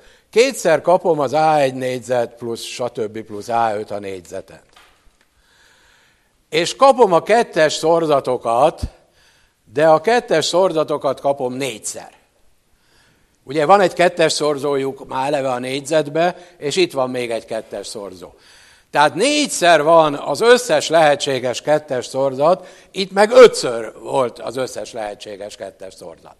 Azt eltüntetem, akkor csak egyszer marad ez meg ez, viszont itt, itt, meg, itt meg kétszer marad, írhatnám így is, hogy egyszer marad ez, és még egyszer marad.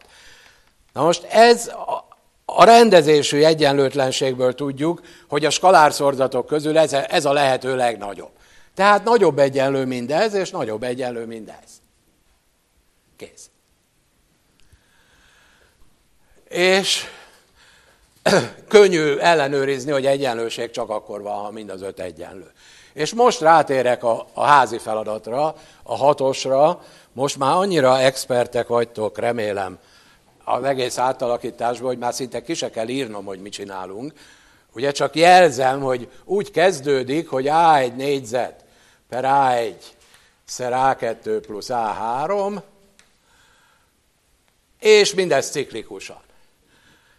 És a hasznos lemma azt mondja nekünk, hogy ez A1, stb. plusz A6 a négyzeten, per, és most megint kettes szorzatok vannak, 12 darab van belőlük, ugye 6x2, és hasznos egy hasonló ábrára gondolni, csak most szabályos hadszöggel, hogy ugye minden meg van szorozva a rákövetkezővel és a kettővel rákövetkezővel, emiatt a két további szomszédjával is meg van szorozva, de a pont vele átellenes, azzal nincs megszorozva. Tehát amikor a, veszem ezt a szumma veszőt, jelezvén, hogy nem, nem minden kettes szorzat van itt, akkor amik hiányoznak, az az A1, A4, az A2, A5 és az A3, A6. A másik 12, azok ott vannak. Na és azt kéne belátni, hogy az lenne jó, hogy ez nagyobb egyenlő, mint három.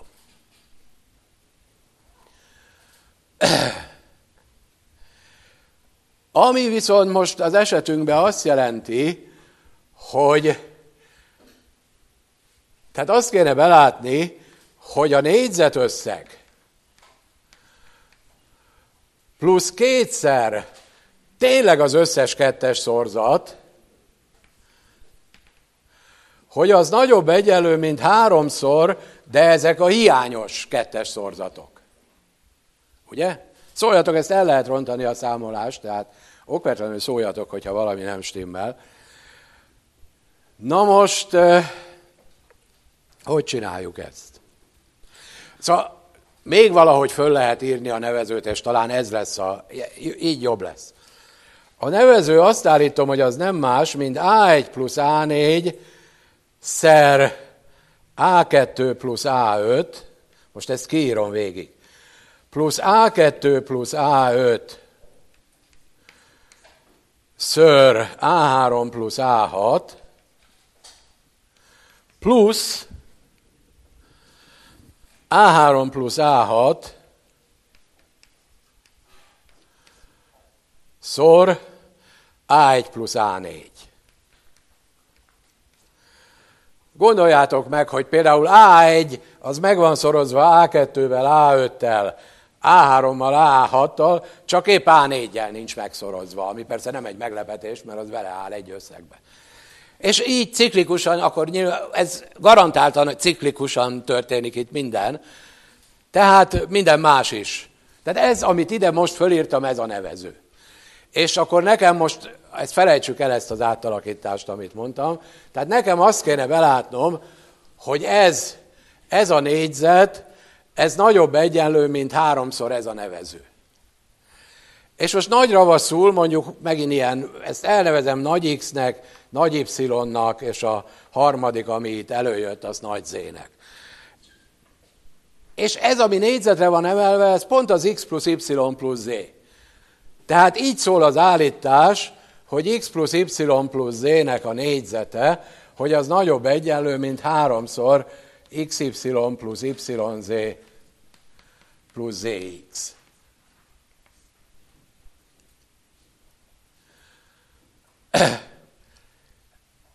És most van az, hogy két, mikor ezt kifejtem, akkor kétszer ez az összeg ez eltűnik, és jobb oldalt egyszer megmarad, bal oldalt meg a négyzet összeg marad, amit eddig háromszor vagy négyszer láttunk már ma, hogy az tényleg fönnáll. Ugye tulajdonképpen ez az X, Y, Z, ezek ezekből jöttek ki, de minden esetre mindegy, hogy honnan jöttek ki, egy olyan állítás van, ami bármilyen X, Y, Z-re igaz. Jó? Tehát, tehát ez, ahogy a hatra kijött, használva a hasznos, vagy esetleg Titúnak nevezett lemmát. Na most nyilván így megy tovább, csak úgy néz ki, hogy egyre több számolás. Ezt gondolja az ember. Ezt annál is inkább gondolhatja, mert egy pillanatra tűnődjünk el, hogy, hogy ez, ami ide föl van írva, hát ez egy kicsit rafináltabb változata az ő kisöccsének, ami úgy néz neki, hogy A1 per A2 plusz A2 per A3 plusz stb. plusz AN mínusz 1 per AN plusz AN per A1, hogy az nagyobb egyenlő minden lenne egy, ugye ez ebből készül, csak bonyolultabb egy kicsit, de ugyanolyan szerkezetű. Na most ez igaz-e? Ez igaz minden endre, és egy elég könnyű dolog. Nagyon sokféleképpen be lehet látni, hát talán legegyszerűbb úgy, hogy a számtani és a mértani középközti összefüggésre hivatkozom. Ha ezt elosztom ennel, az nagyobb egyenlő, mint a mértani közepük, ami meg ha összeszorzom őket, az nyilvánvalóan egy. De, de ezt lehet arra való hivatkozás nélkül is, és akkor kijön ő belőle a számtani és a mértani közép, ezt azért megmondom, nem mintha ezen olyan sokat lenne érdemes időzni, de van egy nagyon jó trükk ilyen ciklikus összegeknél, amit most szeretnék illusztrálva bemutatni. Tehát most ezt, ezt semmiből, alapelvekből be fogom ezt bizonyítani. Az ötlet, a, a lényeg indukcióval bizonyítom. Hát n egyenlő kettőre mindenki ismeri, hogy egy szám plusz a reciproka az nagyobb egyenlő kettő, és egyenlőség csak akkor áll, hogyha a szám egy. Ezt mindannyian tudjuk. Tehát megvan az indukció kezdete, és most tegyük föl, hogy már n-1-re megvan, és válasszuk úgy a jelölést, ugye ilyen ciklikus összeget mindegy, hogy hol kezdek. Válasszuk úgy a jelölést, hogy AN az legyen a minimuma, vagy az egyik minimuma az AJ-nek, tehát az egyik legkisebb közülük. És akkor ez az összeg, írom tovább ezt az összeget. Ez egyenlő azzal, hogy A1 per A2 plusz, stb. És elmegyek odáig, hogy AN-1, de hogy befejezem, tehát per A1, plusz, és egyrészt kiírom, amit még nem írtam ki, hogy AN mínusz 1 per AN, plusz AN per A1, és persze ezt le kell vonni, mert ez ott kakuktojás. Tehát az összeg így írható. De azért írtam így, mert akkor hivatkozhatom az indukciós feltevésre, hogy ez nagyobb egyenlő, mint n-1, sőt, csak akkor egyenlő n-1-jel, ha mind az n-1 szám, ami ebben látható, az egyenlő. És ezzel meg mit csinálok? Hát ezzel azt csinálom, hogy még hozzáadok és levonok egyet, tehát, tehát ez nagyobb egyenlő, mint n-1, és még hozzáadok egyet, de akkor viszont le is kell vonnom, és azt úgy fogom csinálni, közös nevezőre hozok, a nevező az AN-szer A1, és a számláló az AN mínusz 1 mínusz AN szer A1 mínusz AN. Ugye nézzétek meg, tényleg minden ott van. AN mínusz 1 szer A1 per AN szer A1 az ez, AN mínusz 1 nem, AN szer AN per AN A1 az az AN per A1, ott van egy mínusz AN mínusz egy AN per AN A1, ami pont AN mínusz egy per A1, tehát kiesett, és ott van egy mínusz AN A1 per mínusz AN per AN A1, ami épp az a bizonyos mínusz egy. Tehát ez most már mondhatom, hogy ez n nagyobb egyenlő, mint n, plusz ez a dolog, ami nagyobb egyenlő, mint nulla, mert úgy választottam az n-et, hogy kisebb, mint az összes többi. Tehát a számláló is pozitív, pontosabban nem negatív, és akkor nulla, hogyha még ez az A1 is, ez az AN is egyenlő az addigiakkal. Jó? És hogy ebből hogy jön ki a számtani és mértani közép? Hát mondjuk én be akarom látni x1 és így tovább xn-re a számtani és mértani közepet, mondjuk elnevezem a mértani közepet, mit tudom én, c-nek, és akkor veszem azokat a számokat, hogy c per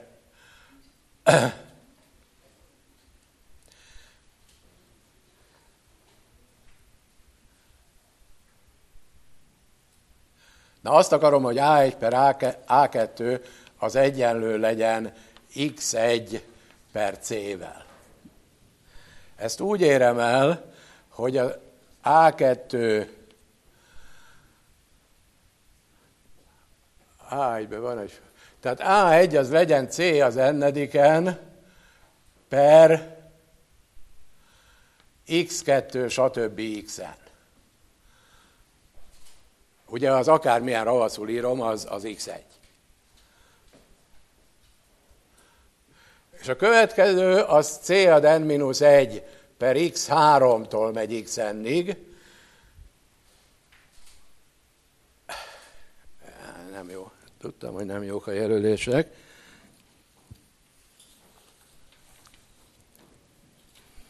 A jó jelölések azok azok, hogy A1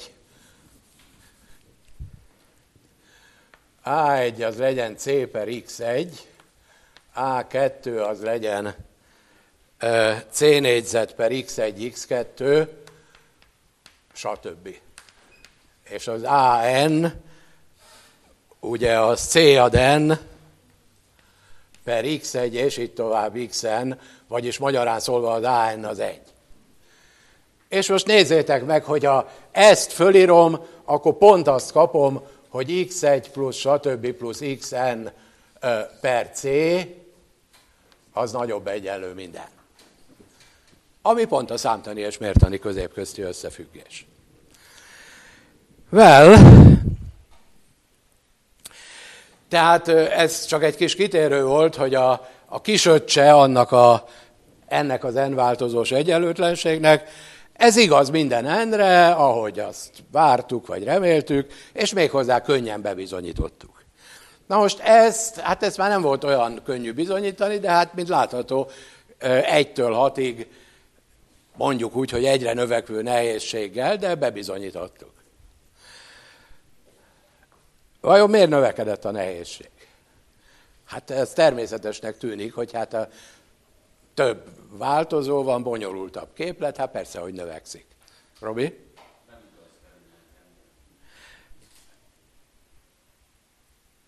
Hol értesültél erről?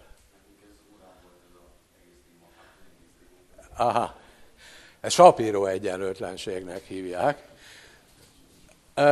Hát azért nem biztos, hogy mindenkinek volt órán, de ez egy döbbenetes dolog, hogy, hogy ez nem igaz mindenendre, és megmondom, hogy mi a teljes igazság. Hadd kérdezzem meg, hogy mi volt az órán. Te most már akkor ezt ismered valamelyest a témát, mondd el, hogy mit, mit ismernek azok, akik veled együtt jártak órára.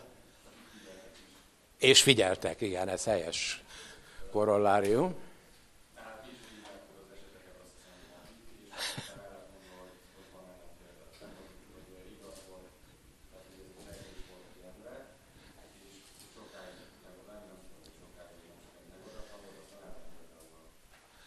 Elhangzott az ellenpélda? Akkor nem is biztos, hogy az egész igaz, mert ugye, hát ha csak így mesélik, hogy van ellenpélda, de én a terv, ugye ez általában az emberek kicsit röstel fölírni 14 számot a táblára, és ugye, hogy hát ezekkel kiszámol, de én most föl fogom írni, nem olyan borzasztó. És bárki kiszámolhatja, hogy az ellenpélda. Na, akkor akkor azért ennél egy kicsit, ez mind nagy vonalakba stimmel, amit mondtál. Nem, nem igazán volt ez sejtés, hanem ezt ez a Sapiro nevű úr, szórakoztató a történet egyébként, szóval kibírja a, a részletes elmesélést. Ez egy Sapiro nevű amerikai matematikus 1954-ben kitűzte feladatnak ezt a dolgot, az American Mathematical Monthly-ba. Bevallotta, hogy ő nem ismeri a bizonyítását, azt mondta, hogy ő n egyenlő háromra és négyre be tudja bizonyítani. Nagyobb ennekre nem, de hát a Monthly játékszabályai szerint kiszabad tűzni olyan feladatot is, aminek a kitűző nem ismeri a megoldását, aztán majd hát ha megoldják, a, akik olvassák. És érkezett is tényleg sok megoldás, egész pontosan érkezett kilenc megoldás, ami bizonyította ezt mindenendre. Ugye most már tudjuk, hogy ezek eh, valahogy nem lehettek tökéletesek ezek a megoldások, mert nem igaz mindenendre. És azután, és azután már egyenlő ötre, tehát mi itt a világ élvonalába vagyunk, ha úgy vesszük, vagy ti is már ott voltatok az órán, hogyha n egyenlő ötre is bizonyítottátok, mert, mert maga a Sapiró is bevallotta, hogy ő már ötre se tudja bizonyítani. De aztán születtek bizonyítások ötre, hatra. Az a helyzet, hogy en nagyobb, mint hatra ez a trükközés már nem megy. Próbáljátok ki, ha valakinek mégis megy, az okvetlenül írja le és nyújtsa be nekem. És és lassan kezdett gyanús lenni, hogy hát ha azért ilyen nehéz a megoldás, mert, mert nem is igaz. És aztán először n egyenlő 20-ra csináltak egy ellenpéldát. olyan az ellenpélda, hogy egy kis epsilont kell benne venni, és olyan módon lehet kifejezni, hogy látszik, hogy ha tényleg nagyon pici az epsilon, akkor a kívánt határnál egy epsilon négyzetnyivel kisebb a, a mennyiség. Én ennél sokkal csinosabb ellenpéldát mutatok majd mindjárt. És aztán nagy nehezen kibontakozott a, a teljes igazság, és az a helyzet, hogy vannak itt tulajdonképpen még elvarratlan szálak. Tehát a teljes igazság így szól, hogy a dolog, ez az egyenlőtlenség, ez páros enre igaz, hogyha az n kisebb egyenlő, mint 12, de nem igaz 14-től kezdve. És páratlan enre igaz, hogyha az n kisebb egyenlő, mint 23, és ideírom 14-től nem, és ez pedig 25-től nem. Ami elég döbbenetes. Na most az, az nagyon könnyű, ez, ez nem is házi feladat, hanem ez mindenkinek új gyakorlat, hogyha valamilyen endre nem igaz, akkor n plusz 2-re se igaz. Az n-es ellenpéldából nagyon könnyű n plusz 2-es ellenpéldát csinálni. n plusz 1-eset egyáltalán nem könnyű, sőt nem is lehet, mindez mutatja, mert mit tudom én, 14-re nem igaz, de 15-re igaz. Jó, de kettőt lépkedni, tehát ez az első meghökkentő dolog, hogy más a határ párosra, mint páratlanra, annak ez a magyarázata, hogy az ellenpéldákat kettőt lépkedve könnyű hízlalni, de egyet lépkedve nem.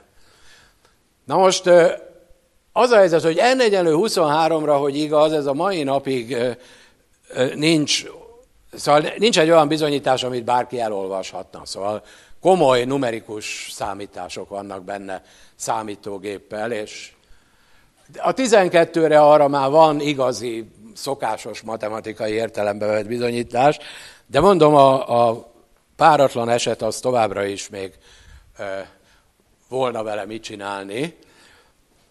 De mivel az ügy annyira, annyira meghökkentő, azért fölírom, hogy mi adja az ellenpéldát 14-re. És mindenki maga ellenőrizheti, akár kézzel is, de hát a mai világban nyilván az ember nem kézzel ellenőrzi, hanem mit tudom én, maple vagy matematikával, vagy ki, amivel akarja. Na most az ellenpélda az 14 darab egész szám. Ez azért fontos, hogy nem valami közelítő vagy hozzávetőleges értékek, mert hogyha valami közelítő értékek lennének az ellenpéldák, akkor lehet, hogy a, a számolásba elkövetett hiba miatt a 15. helyen jelentkezik az ellenpéldaság, és a számolási hiba miatt van. De hogyha egészek, ugye, akkor itt, akkor itt 14 darab racionális szám összege van, amit össze lehet adni, mint racionális számot, és kijön majd egy racionális szám. És hogyha az, az nagyobb egyenlő, mint 7, akkor ez nem ellenpélda, de ha kisebb, mint 7, akkor ellenpélda. Most a következő, hogy a számaim között lesz jó néhány, hát nem jó néhány, de lesz azért köztük nulla. Ami látszólag nem szabadna, hogy legyen, mert ugye úgy szólt a dolog, hogy mind pozitívak. De hát valójában maga a sejtés is úgy szólt, ha, mikor, ha valamikor sejtés volt, hogy nem muszáj mindnek pozitívnak lenni, hanem mind nem negatív legyen, nagyobb egyenlő, mint nulla, és ne legyen köztük két szomszédos nulla. Ugye akkor már oké, okay, akkor már van értelme a kifejezésnek, mindegyik nevező pozitív, és ugye, ha, ha igaz pozitívakra, akkor ezeknek a határértékeként ilyenekre is igaz lesz. Úgyhogy, és megfordítva, ha én ellenpéldát csinálok csupa nullával, ami egy icipicivel ugyan, de kisebb, mint 7, akkor nyilván, ha azokat a nullákat valami egészen picike epsilonokkal helyettesítem, akkor még mindig 7 alatt marad a dolog. Szóval ez csak, a, hogy könnyebb legyen leírni az ellenpéldát, és íme az ellenpélda, tehát az A1, stb. A14, 14-es az a következő, nem kell megijedni tőlük, nem nagy számok. 0, 42, 2, 42, 4, 41, 5, 39, 4, 38, 2, 38, és végül 0, 40. És ha ezt most mind összeadjátok, én nem kézzel adtam össze, de matematika kihozta, akkor ez az a tört, hogy 202 millió 566.829 per 28 millió 938 1140. És ugye ez egyenlőre itt biztos, hogy nem történt semmi számolási pontatlanság, mert hát egész számokkal, illetve racionálisakkal számoltunk, és most csak meg kell szorozni a nevezőt héttel, és hogyha kisebb szám jön, és hogyha nagyobb szám jön ki, mint a számláló, akkor ez ellenpélda.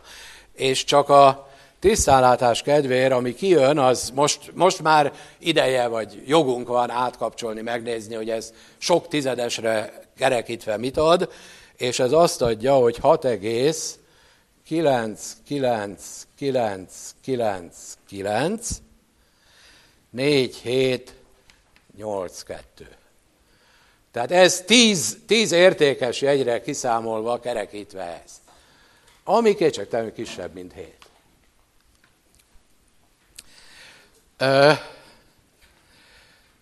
Na most, hogy itt valójában mi, mi történik, azt még egy ideig homály fette, míg nem Dreamfeld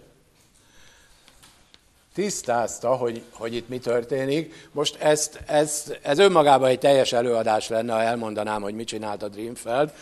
Csak röviden egy, egy-két személyes adat a Dreamfeldről, hogy lássuk, hogy kiről van szó. Ez a cikke, amiben ezt tisztázta, az 1971-ben jelent meg. Ez volt neki az első cikke, ami nem csoda, mert 1969-ben még a olimpián vett részt, ahol is aranyérmet nyert.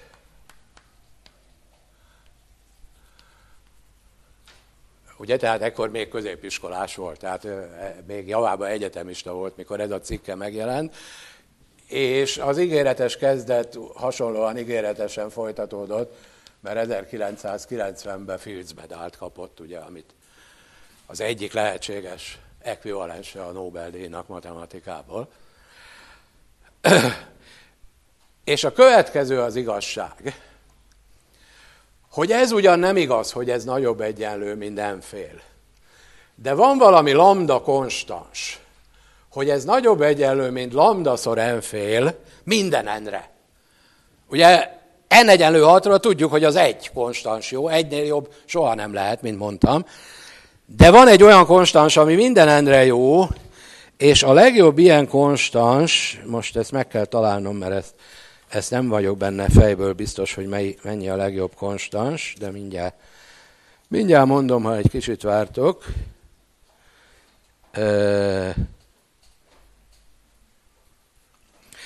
Miközben keresem a legjobb konstanst, aközben ugye azt kérdezheti valaki, hogy hát ez miért pont ez az ellenpélda. Szóval egy kicsit olyan önkényesnek tűnik, de ez, ez nagyon nehéz ilyen ellenpéldákat találni. Szóval ez nagyon ki van centízve, és itt nagyon érdekes dolgok folynak. Hadd mondjam meg, hogyha ha, ugye itt látunk egy bizonyos szabályosságot, hogy csökkennek, aztán nőnek. Tehát gondolhatjuk azt, hogy mi lenne, hogyha ide 39-et írnánk az esetleg egy még jobb ellenpélda lenne, ugye, a, figyelve a szerkezetét. Na most azt is meg tudom mondani, hogy ha ide 39-et írunk, és azt helyettesítjük be, akkor azt kapjuk, hogy 7,0004774, stb. Tehát az bizony már nem ellenpélda. Szóval ezt egy kicsit megpiszkáljuk, akkor elromlik az ellenpélda.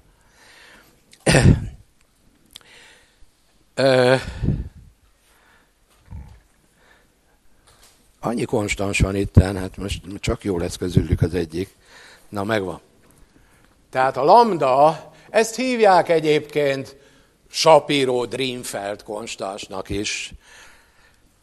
Az 0,89133, stb. Tehát ugyan nem nagyobb, mint nem fél, de de nagyobb, mint majdnem a 99%-a az enfélnek. Ez igaz minden endre. Na most, ed, hogy pontosan mennyi ez a lambda, erre sajnos nincs képlet, de meg tudom mondani, hogy hogy kapjuk meg a lambdát. És ez a, ez ez a precíz definíciója. Ez, az egy nagyon jó kis cikk, a Dreamfeld cikke, az eredeti, az a, hát nem tudom hányan vannak köztetek, akik egy orosz cikket el tudnak olvasni, ez a Matyamátyicseszki, ez Amétki című orosz folyóiratban jelent meg 71-be. Valószínűleg le van fordítva a más nyelvekre, de hát az nem egy butaság, ha tud az ember oroszul olvasni, az elég sokat lendít a matematika tanulmányokba. Na, szóval a következő a rejtély, amire rájött a Dreamfeld, hogy veszek én itt, lerajzolok két függvénynek a görbéjét.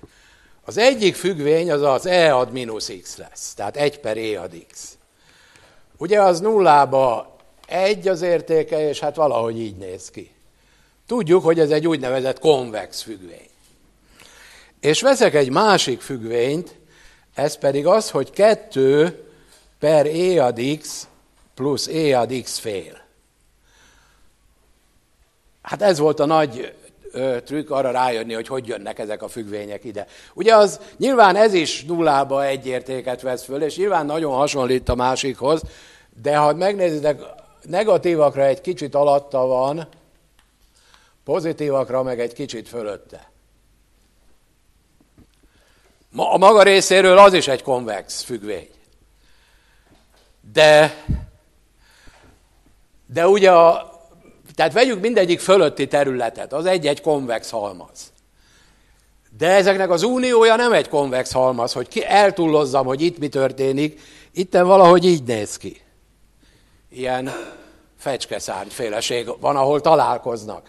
Ugye itt egy picit följebb van a, ez a bonyolultabb, és itt pedig egy, ez van alul, a, tehát a, lejjebb van a bonyolultabb, itt meg az EADX van lejjebb. És ha veszem ennek a két konvex halmaznak a konvex burkát, tehát a, a tényleg az uniójukat tartalmazó legkisebb konvex halmaz, azt ugye úgy kapom, hogy egy ilyen érintő egyenest húzok ehhez a két ö, majdnem egybeeső szép sima görbéhez. Az, az a dolog, az egy, az egy nyilván egy picit alatta megy az egynek. És ahol az metszi a, az Y tengelyt, ez, ez a szám. Na, meglepő, hogy milyen keveset sikerült elmondanom abból a rengetegből, amit akartam, de szeretnék adni házi feladatot, hogy a tanult technikákat alkalmazzátok, és méghozzá két házi feladat lenne, ezeket ismét csak meg kell találni. Húha.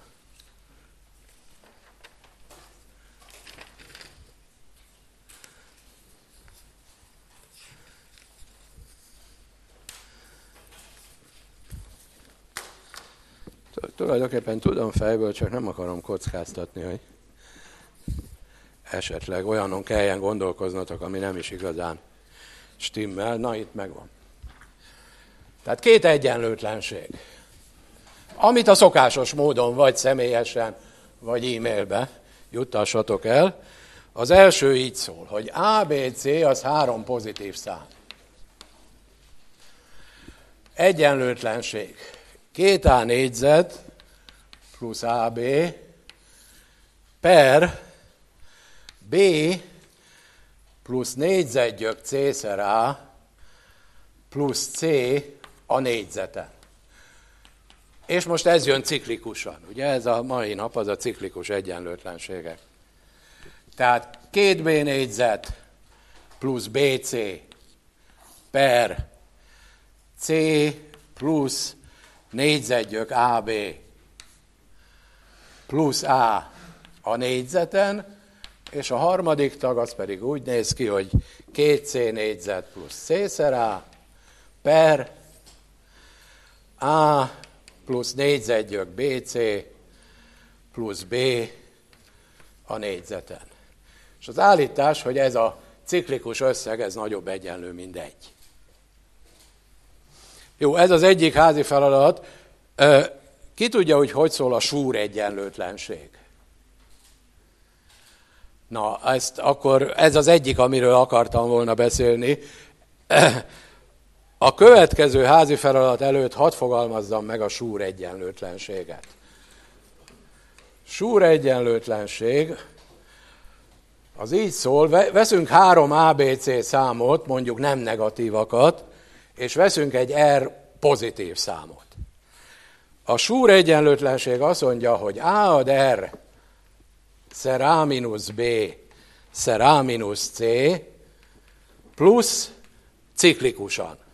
Tehát B ad R szer B mínusz C szer B mínusz A plusz C ad R szer C mínusz A szor C mínusz B azt mondja, hogy ez nagyobb egyenlő, mint nulla. Jó, ez, ez, ez is egy nagyon hasznos egyenlőtlenség. Tudom, hogy ez sokkal kevésbé közismert, mint a Kósi Bunyakovszki és társai. Jó, ezt egyébként érdemes azt is tudni, hogy egyenlőség két esetben van itten, vagy abban a nyilvánvaló esetben, ha mind a három egyenlő, Vagy pedig, hogyha kettő egyenlő, és a harmadik nulla az ABC közül. És az, hogy ezt előre bocsájtottam, hogy ezt esetleg jól tudjátok használni a súr egyenlőtlenséget a most következő házi feladatba, annak az az oka, hogy a most következő házi feladat, az előre szólok, hogy elég nehéz. Jó, úgyhogy ne ijedjetek meg tőle, és bátran bonyolódjatok a téma nehézségéhez méltó bonyolultságú számításokba. Különben pofás a feladat, de nem könnyű. Egy per 4A négyzet mínusz AB plusz 4B négyzet, ABC fog szerepelni, az, az megint három pozitív valós szám. Plusz ciklikusan, illetve hát ez nem is ciklikus, mert mert ebben nincs irány, ha megnézitek. Tehát akár, akár hogy lehet permutálni az ABC betűket. Ki akarja, például fölteheti, hogy A nagyobb egyenlő, B nagyobb egyenlő, C. Tehát a másik két tag az úgy néz ki, hogy 4B négyzet mínusz BC plusz 4C négyzet, és a harmadik tag az úgy néz ki, hogy 1 per 4C négyzet mínusz CA plusz 4A négyzet. És az állítás az az, hogy ez nagyobb egyenlő, mint 9 per 7-szer A négyzet plusz B négyzet plusz C négyzet. Ezek az egyenlőtlenségek, ugye most volt sok köztük, jó néhány igen nehéz. Ezek az egyenlőtlenségek nyilván nem, szóval senki nem fogja ezeket majd emlegetni, hogy hú, az, hogy x az ötödiken mínusz x négyzet per, hogy az micsoda. Szóval ezek, ezekben semmi különös esztétikum nincsen. Ebbe a nehézségük az esztétikum. Tehát ez egy szigorúan technikai témakör. Tehát van sok olyan mondjuk olimpiai feladat is, és hát még research mathematics, ami nagyon érdekes önmagában. Ugye a, biztos mindenki emlékszik még a szöcskés feladatra a két évvel ezelőtti olimpiáról, már aki egyáltalán hallotta stb. Szóval van sok érdekes feladat, ezek garantáltan nem érdekesek. Egy akármilyen pofás egyenlőtlenség is, az egyszerűen a technikai tudást teszi próbára. De épp arról van szó, hogy csak egy tapasztalatot mondjak, az ázsiai országok általában piszokjók az ilyen egyenlőtlenségekben. És csak azt tudom emlegetni, amit már a számelmélet előadás kapcsán emlegettem, hogy a